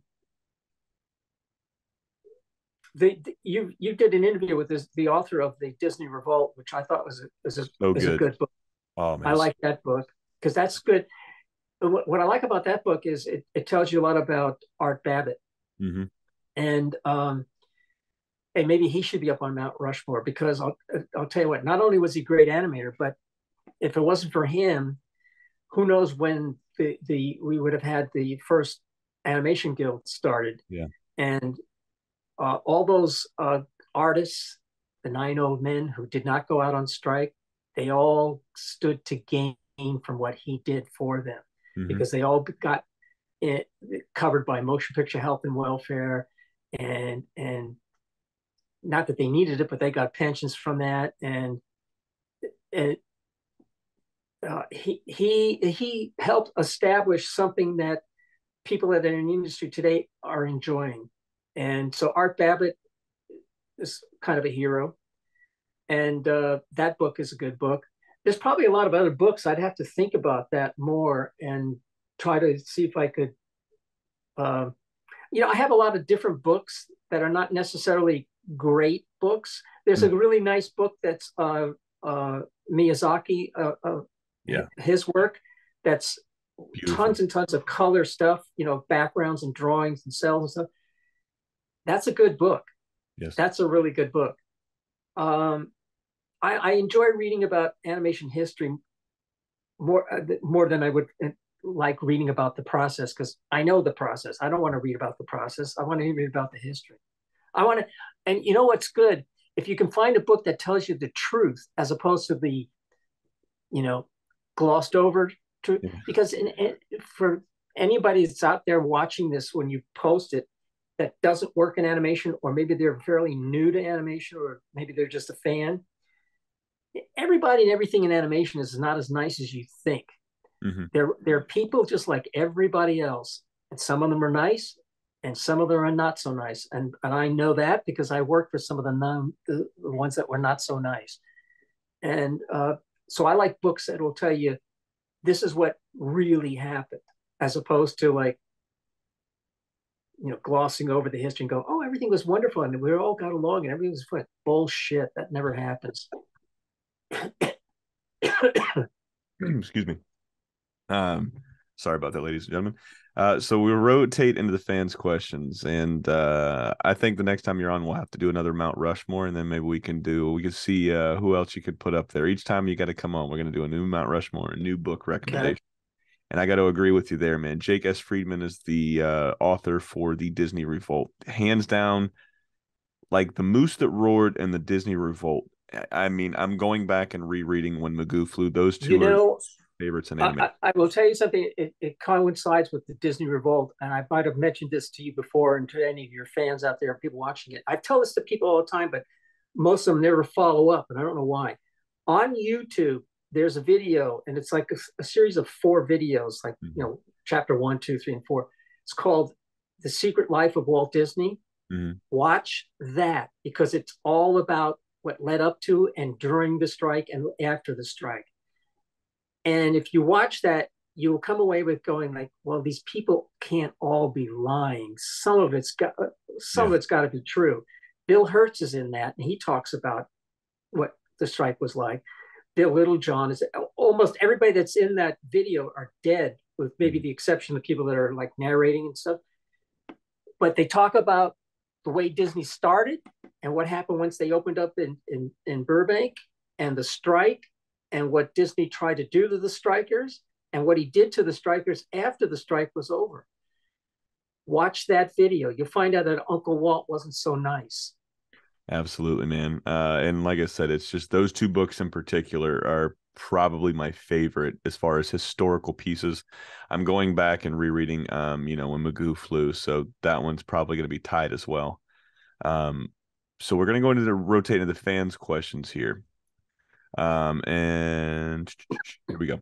Um, having saved and preserved many things since the start of your career, what would you say are the are your favorite finds that you still have? Did you ever come into possession of any master recordings of any certain shows, reel to reel, open reel, U-matic, Betacam, S, uh, Betacam SP, etc.?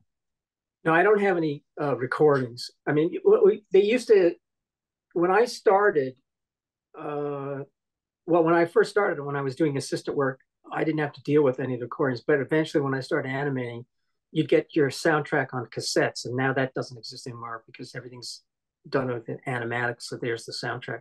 But I don't. I didn't keep any of that that that sounds. I have like a few. I can see some down in the corner. of a few cassettes. I don't even know what they're. I have like I have this one cassette. Well, it's behind my iPad here. I have this one cassette I kept because it's it's funny. It's from a Billy and Mandy, but it's an outtake and yeah. they played it at one of our uh, all staff meetings.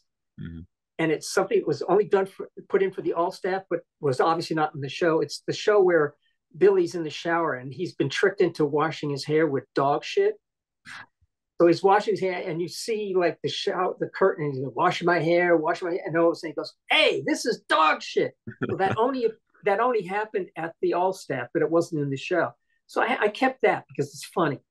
Uh, but I didn't keep any recordings. But as far as artwork goes, you know, I've got stuff. Um, I recently posted some drawings that I did from a, a piece of animation from 1970 that I I, I kept this the scene, which is the rough animation, and um, it was for a, a, pilot that didn't sell, when George Schlatter did, uh, called Wacky World. It was a, mm. he was trying to make an international laugh-in show, but I, you know, I have stuff like I've got that cell from the Dalmatians I bought at Disneyland in 1961 or two, whatever it was. I got, and I've, you know, I've got a lot of stuff that I like, you know, mm that I've kept over the years and accumulated. And I'm a collector. It's animation art's not the only thing I've ever collected. I've collected other things over the years, and Uh, I think it's just part of my DNA where it's like I get hooked on something and I go, well, I must collect this, you know, and I do it for a while. But the animation art is one thing that I've accumulated over a longer stretch of years than anything else. And I like it. Absolutely, man. Um, what are your favorite memories of working at Cartoon Network Studios and who there did you have the most fun working with?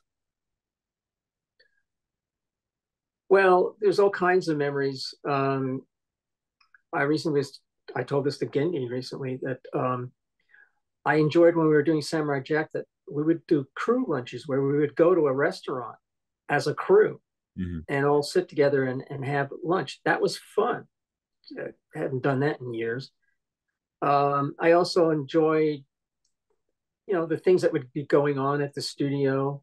Like we'd have barbecues up in the summer up on the roof, uh, yeah. and that was fun.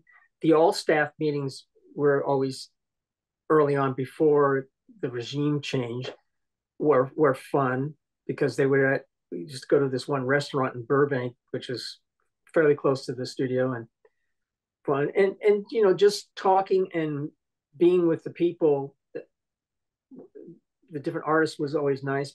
You know, but most of the time, you're sitting at your desk in your office and you're doing your work, unless you're a, a complete screw off and and not doing your work. And and there are those people that will take like extremely long lunches, come in late, go home early, and then they can't figure out why they're behind schedule. Mm-hmm. But um, you know, I have a lot of good memories of working there. The last, few, obviously, the last few years, what I haven't been at the studio since March of 2019 because the pandemic hit and they kicked us all out. Mm-hmm. But prior to that, it was good. It was fun. You know, I people would come into my office all the time and visit and talk, and um, I, I, I liked working there, as, just like I liked working at Hanna Barbera. It was it was good times. Absolutely, man. And uh, the next one here. What's your favorite memory working at Hanna Barbera when it moved to the Imperial Bank building after they moved from? that was not yeah, well, we Imperial Bank Building was in Sherman Oaks. That's when Turner merged with Time Warner, mm-hmm. and then so all of a sudden Warner's Brothers became like Lord and Master. Yeah, and they decided they they they're going to sell the property at Hanna Barbera was on, which is on, which was dumb because we I think we could have all they could have moved Warner Brothers there because there was plenty of room, but mm-hmm. they didn't. So they sold the property, and we got moved into what was left of us uh, the Hanna Barbera was in two locations. I was on the 14th floor of that Imperial Bank building, and Johnny Bravo and Powerpuff were down in what was called the Garden Building, which was like below a restaurant that, which is part of the mall that there was a mall there, and uh, I didn't, I, I didn't like working there because it was kind of Warner Brothers was in control. It wasn't the same as like working at Hanna Barbera, even though I didn't have to answer to the Warner Brothers people. But it and it was a pain in the ass to get to because it was the building, the, the the location was one of the worst trafficked places in the valley, the corner of Sepulveda and um, I don't remember it was Sepulveda and Ventura Boulevard tons of traffic there every morning because of people just going to work on the west side and whatever. Mm. So the, you'd have to take the 405 freeway, and it was always a pain in the ass going in and the pain in the ass going home. I really dis I didn't like it very much at all working there. Uh, the the show stuff was okay, but the location that I thought was lame. Yeah. But it, that was only for about three years, and then we moved to Burbank. Yeah. Um, next one we got here, man. It's uh, what was something you first struggled with when you first started in animation, um, and what did you do to snap out of that uh, as the problem? Does anything stick out when you first started animation that might have been difficult? Yeah, drawing. Drawing. Um, yeah, because I remember when I first started, I, you know, I had done stuff in school, at, you know, at, at Chouinard, and you know, and amateur stuff but now I was doing it where you know you had to do it right and you know to get paid, and it was not it wasn't something that I just was instantly great at. So it was mm. a struggle. And I can even remember one time because the first thing I worked on was the cartoons that were in the show, the Banana Split show. And the mm-hmm. two cartoons were the Arabian Nights and the Three Musketeers. And I remember doing some in betweens on the scene from the Arabian Nights where someone cuts the ropes to some tent and I think either a villain or a couple of villains underneath the tent. And so the, the tent's like doing this. Today, that would be really easy for me if I had to do that. But doing it correctly so that the folds in the tent were right, I just found it hard. I remember taking that home to work at at home. So it was a it was a struggle at first because you got to get used to following direction, you know, the, the timing charts and all that, and mm-hmm. you know, trying to draw the characters properly. It, it was not easy for me, and uh, it was a struggle. But you know, I got, slowly got better and better and quicker at it. But it, just drawing was was was tough at first. Do you ever go back and look at some of the stuff you did in your early in your career? Only if I'm eh, by accident. Yeah. Uh, and I don't know where I would find it. Like maybe on YouTube if I think to type out look at it for it. Sometimes on um, Boomerang used to run some old Hanna Barbera stuff, and if it, if something was on that I know I worked on, mm-hmm. I might stop and look at it to see if it, I can remember it. And sometimes something would come on, and I only reason I know I worked on it because I'd see the end credits, my name is, and I go, well, I guess I worked on that. But uh, occasionally, it yeah, it, it's always kind of weird looking at stuff that we you worked on in the 70s and even into the early 80s because in my opinion it always looks bad. Yeah. But nowadays i don't really go and look to see if i can find stuff that i worked on it because it that doesn't interest me. With uh do you, do you remember the first i'm trying to word this where i don't sound like a dick. Do you remember the first big hanna-barbera project you worked on as far as show goes well yeah the very first thing was the banana split show because that was my first job that was and your first so job to me that was big because yeah. i had never i hadn't done anything in the industry before so that was the first that was big to me and mm-hmm. then after that it was just the, the following year i worked on the, the harlem globetrotters show yeah and uh, no, wait, the following year I worked on the Perils of Penelope Pit Stop, mm-hmm. which for me was tough at times.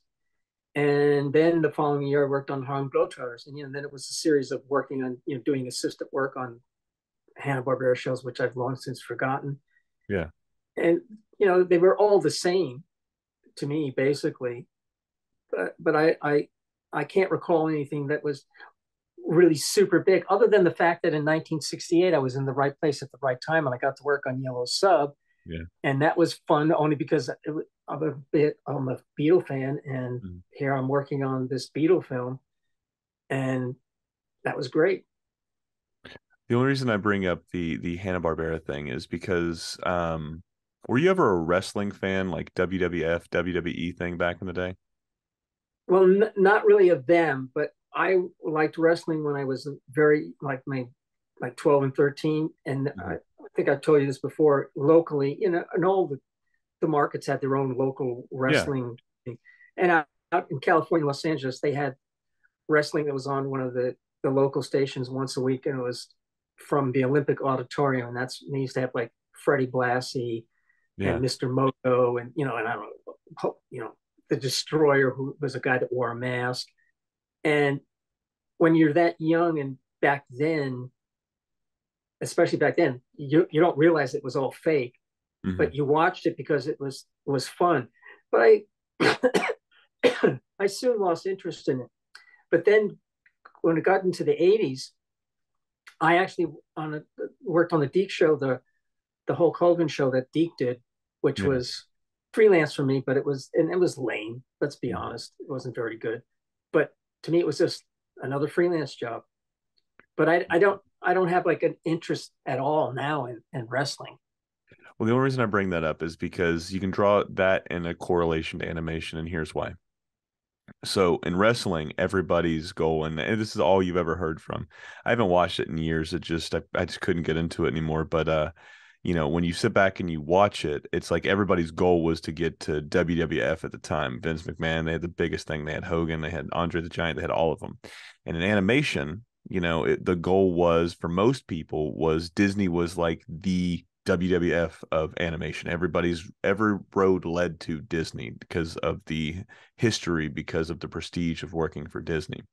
Now, with TV animation at that time when you broke into the industry, were people really striving to get to Hanna Barbera? Because, like when I said it, when I was growing up, Hanna Barbera before Cartoon Network started, that was that was the only game in town for me. But was it like that in the industry? Everybody wanted to get to Hanna. Yeah, I, I, think so. It was like one of the the, the big studios to to work for. Hmm.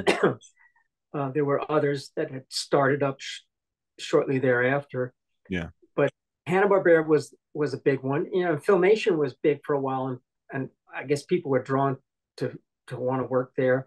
Mm-hmm. I did. I worked for a couple of seasons for Filmation because you know it was the job, and I never liked any of the stuff I worked on. I didn't. I didn't care for the studio uh, or the way it was run. Yeah. But Hanna Barbera was a big was a big one. Ruby Spears was big for a while, but I think there were a number of people that wanted to work at Hanna Barbera in television. Um, I just this the very first stuff I worked on was Hanna Barbera, and then yeah. continued to work on, and then eventually went on staff. So, absolutely, right place at the right time. Yeah, they had such a catalog of not they did they they have such a catalog of characters that are just man they like they said they invade my consciousness on a regular basis you know from huckleberry hound to snagglepuss to magilla gorilla is one of my favorites frankenstein junior is one of my favorite shows and it gets it gets shit on because it's not like it's the greatest show in the world, but it's by far not the worst show in the world. There's just something fun about those characters because a lot of these shows that I grew up with were in between watching things like the A Team, um, you know, in the heat of the night. Um, my grandpa, I would watch everything with when it was come to movies and stuff. He was like a really big movie guy. He loved movies. Queen of the Nile, he would tell you everything about the movie. He'd tell you everything about the actress. He would tell you everything about the production.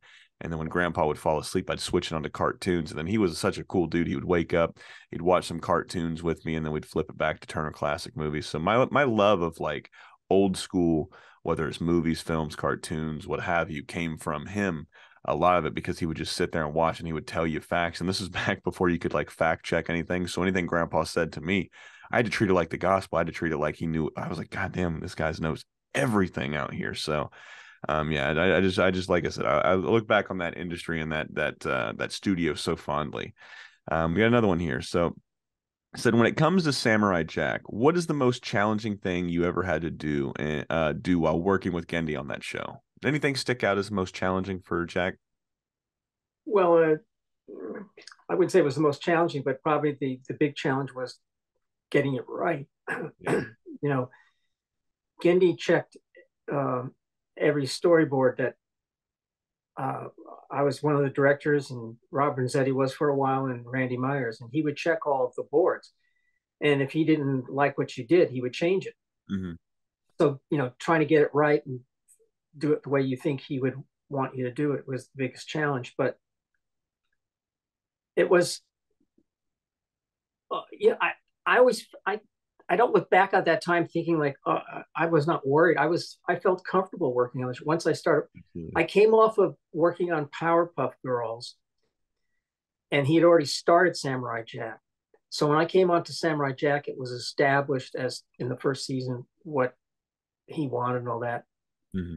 And it was like you know grasping the way things are done. And there would be times where I might go into his room and ask him some questions, and uh, but he has a way of making you feel comfortable because he's he's actually a very nice person mm-hmm. and easy to work for as long as you don't goof off and you do your work and you get it done on time and you do good work he's easy to work for and so i got along with him fine and um, i don't recall being challenged to the point where i had a difficult time at all working for him yeah um, and then this one's one of those. Uh, I usually don't ask these, but I thought it was fascinating.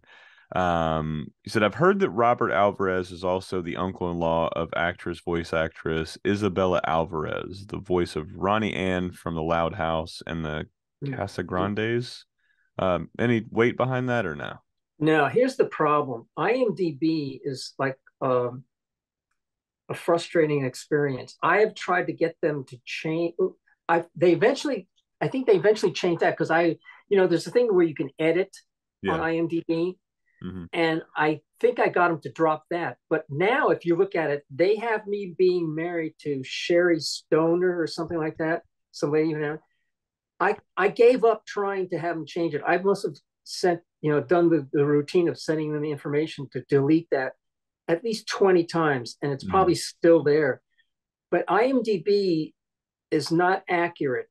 It, it like well, there's like that personal information about me, like they had me being the uncle of someone that I didn't even know who the hell she was. Yeah. And then they had me being married to this lady that I'd never even met. And uh, so, th- and then on top of that, IMDb also has, at least on mine, and I'm sure they do this with other people, they have things on there that I've never even worked on. Yeah. And I don't know how they how it gets that way, but they, there's probably at least four or five things that I, if I went down the list, go, I did not work on that, did not work on that, and it's I don't know how they get so screwed up, but it's not entirely accurate. Come so on. I'm not I'm not that lady's uncle. I don't know who the hell she is, and if and if she's related to me, which she's not, but if she is, it would be nice if she sent me a birthday card with some cash in it once in a while.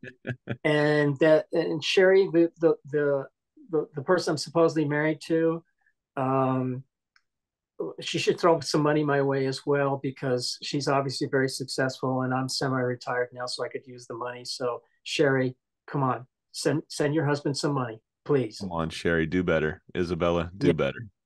Yeah, um, don't don't make me come after you. All right, so I figure we could end it with the uh, these last two, and this one I've started doing uh, recently because I, I, find it pretty fun, and I actually started this one with Toby Jones. Uh, you know, he had some very kind things to say about you as well. Uh, one of my favorite people that I've had on recently too, because getting to know that he was a super fan of regular show to working on regular show, I just thought it was fascinating. Um, but uh, so I started this one with him. And so you get five people, five dinner guests, dead or alive, that you get to invite to dinner. You have oh. to make the food as well. So who are oh, you geez. inviting? What are you cooking? And what are you guys going to talk about? Well, first off, with cooking, I, I don't cook. I'm not like you. I'm not a chef. So I would have, I would, have, you know, I guess I could have my wife there so that she can mm-hmm. actually do the cooking. I can bullshit that it's on that I made it. So I would have her make pasta. You know, I like I like her pasta and her sauce that she makes in, in mm-hmm. meatballs. I'd do that. Now, people, that would be an interesting, yeah, a really interesting thing because historically, I would want some people from the past, not mm. just animation people. It, it, well, you anybody know what would be fun? There. Yeah, anybody. It would there. be fun to be like Walt Disney, just so. I could grill him about a bunch of stuff. You know, mm-hmm. you know, poke him with the stick. Yeah. Uh, but then famous other famous people uh, would be, you know, um, gosh, that's a tough one because I can go down a list and think of tons of historical people that would be. You know, what would be interesting. This is going to throw everyone for a loop. Christ, and you know yeah. why? Why? Because I'd want to ask them, like, come on, I know what really happened when they wrote the Bible and stuff because it wasn't written when you were even on the planet. It's I recently saw a post about how it was revised, revised, rewritten, revised, rewritten over countless hundreds of years. Mm-hmm. And so I would say, like, okay, let's let's get some stuff straight here. Did you actually walk on water, or is that bullshit? Did you uh, did you make all that food from the for those people when the Sermon on the Mount stuff, or is that or is that like you know a lot of bullshit, or was somebody really catering? And who picked up the tab for the last dinner? You know, who was it? Was it Judas? Because he had money. So like, and uh, it would be fun talking to him. He probably would be pissed off at me, but it would be fun. I think Walt would be uh, too. So you got two people already mad at this dinner party. Robert, who else yeah. you got? You got Walt and Christ. Yeah, uh, but then you know it might be fun to speak to some other historical people. Um, yeah, I, this is going to throw people for a loop too. It's like Churchill. Okay. Churchill might be fun to talk to because you know get get some booze into him because he he did drink. Oh and boy, then get him to loosen up and tell stories. That might be fun. And you know, I'll give you a good one. Orson Welles. Ooh. Orson Welles. He is fascinating. If Mhm. you see, there's tons of interviews on YouTube with him on various shows. Orson Welles, and maybe some other directors from the golden age or vintage Hollywood. Uh, that's I got Churchill, Christ, Disney, Welles. I got one more. Mhm. Um, I'll, here's another one. Bogart. Yeah. Bogart. Bogart is my favorite actor, so I would have him, and um, I could. All I think of tons of things to ask him about, you know, working in Hollywood and all that, and what was really going on. Um, I, I don't, I would, I don't think I'd piss off Bogart, and I and I wouldn't piss off Welles. I well, maybe so. I, I have a friend who's a cameraman, Mhm. and when he was very young, he worked on that film that Welles actually never completed, one of his last films. And he was working on it with Welles, and he said he wanted to ask Welles something, and he said, Orson, what do you? And Welles got really pissed at him because this guy called my friend called him Orson, and he, you know, it wasn't like they were equals or anything. So who knows what he would be like? But um, I don't know. You know, maybe I'd have a sign over the door before anybody entered saying, "Leave your egos outside," and um, just come in, sit your ass down, and be prepared for questions. Oh man, I hope to be a fly on the wall if that dinner party ever happens, Robert, because boy oh boy would that be an interesting take, man.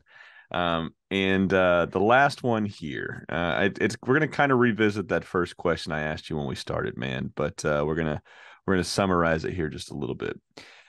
If you could summarize your entire experience in the animation field into one word, one sentence, one phrase, I don't know, man, one paragraph, man, what would it be? What would Robert Alvarez say at the end of the day once those lights flip off for his animation studio for the last time, man? What would you sum it up as? He was very lucky. Yeah. And the reason I say that is because um, I don't think I'm any great artist by any stretch of the imagination. I, I would consider myself as a TV adequate animator when I was doing animation. But I enjoyed working in the business because that's something I wanted to do from when I was in the seventh grade. And um, I was lucky in a lot of times over the course of my career, just working in the right place at the right time and meeting the, the, the very talented people that I've worked with over the years. And um, like I said, I just very lucky. And uh, I, I, I'm glad that I had the career that I, that I finally had. And um, it's, it's been a, a long road. It probably went a bit too fast in the sense that if things weren't the way they were now, I probably would still be working like full time, but that's just didn't happen because of thank you Discovery Channel, you pricks. and um, uh, I, like I said, I'm just I'm consider myself very lucky that I had the career that I had and that I worked fairly consistently. And um, I, I don't know what else to say. I mean, it's here's the thing about anybody that does anything in animation, film, or whatever it is. It's left up to the historians that'll follow and years later, or or critics, or whatever you want to call them, as to what they think I accomplished or what they think of me. Because I'm not one of those guys that's going to, and you know me, I'm not going to sit there and go like, oh, hey, I'm so talented. You know, they couldn't have started the shows without me. That's not me. And so um, it's up to someone else to come along and say, and of course it'll be their opinion, especially if they say something bad about me.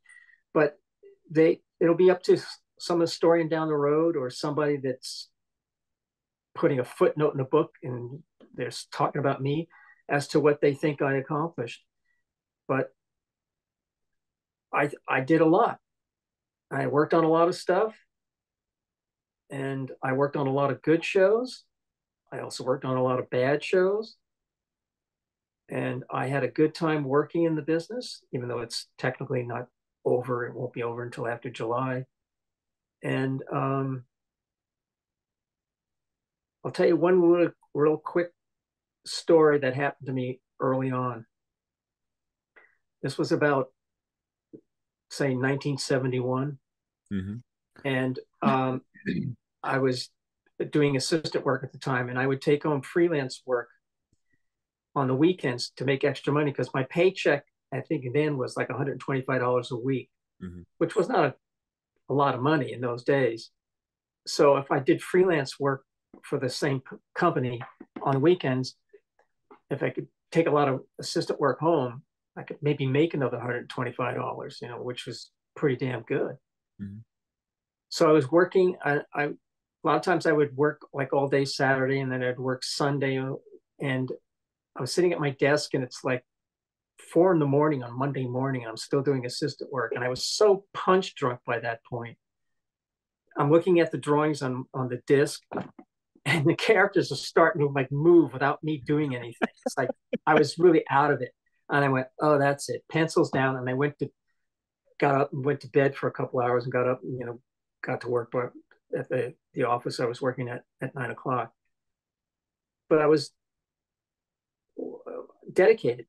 Mm-hmm. And to be successful in animation, you have to have some talent, dedication, discipline, and luck. Mm-hmm. And uh, I had those. Beautiful, man. Well, if I've gotten anything from what you just said, man, that luck, very lucky that Fred Seibert stumbled out your name when he was talking about his uh, his early days at being at Hanna Barbera when he took over. Very lucky that you answered my message to come on my show a couple years ago. I'm very lucky that you never told me to fuck off, leave me alone. I'm tired of your dumbass questions, man. And I'm very lucky that, like I said, over these last couple years, I've gotten to pick your brain and see from a different perspective on some of the greatest things that I've ever watched in my life. If there's been one constant in my life through animation, just being a fan, uh, it's been your name among many greats, man. Uh, I think you mentioned it that you know you weren't uh, you weren't anything special on the first episode. You were just a mechanic. You were doing your job. You were the guy that was there day in day out that everybody could count on.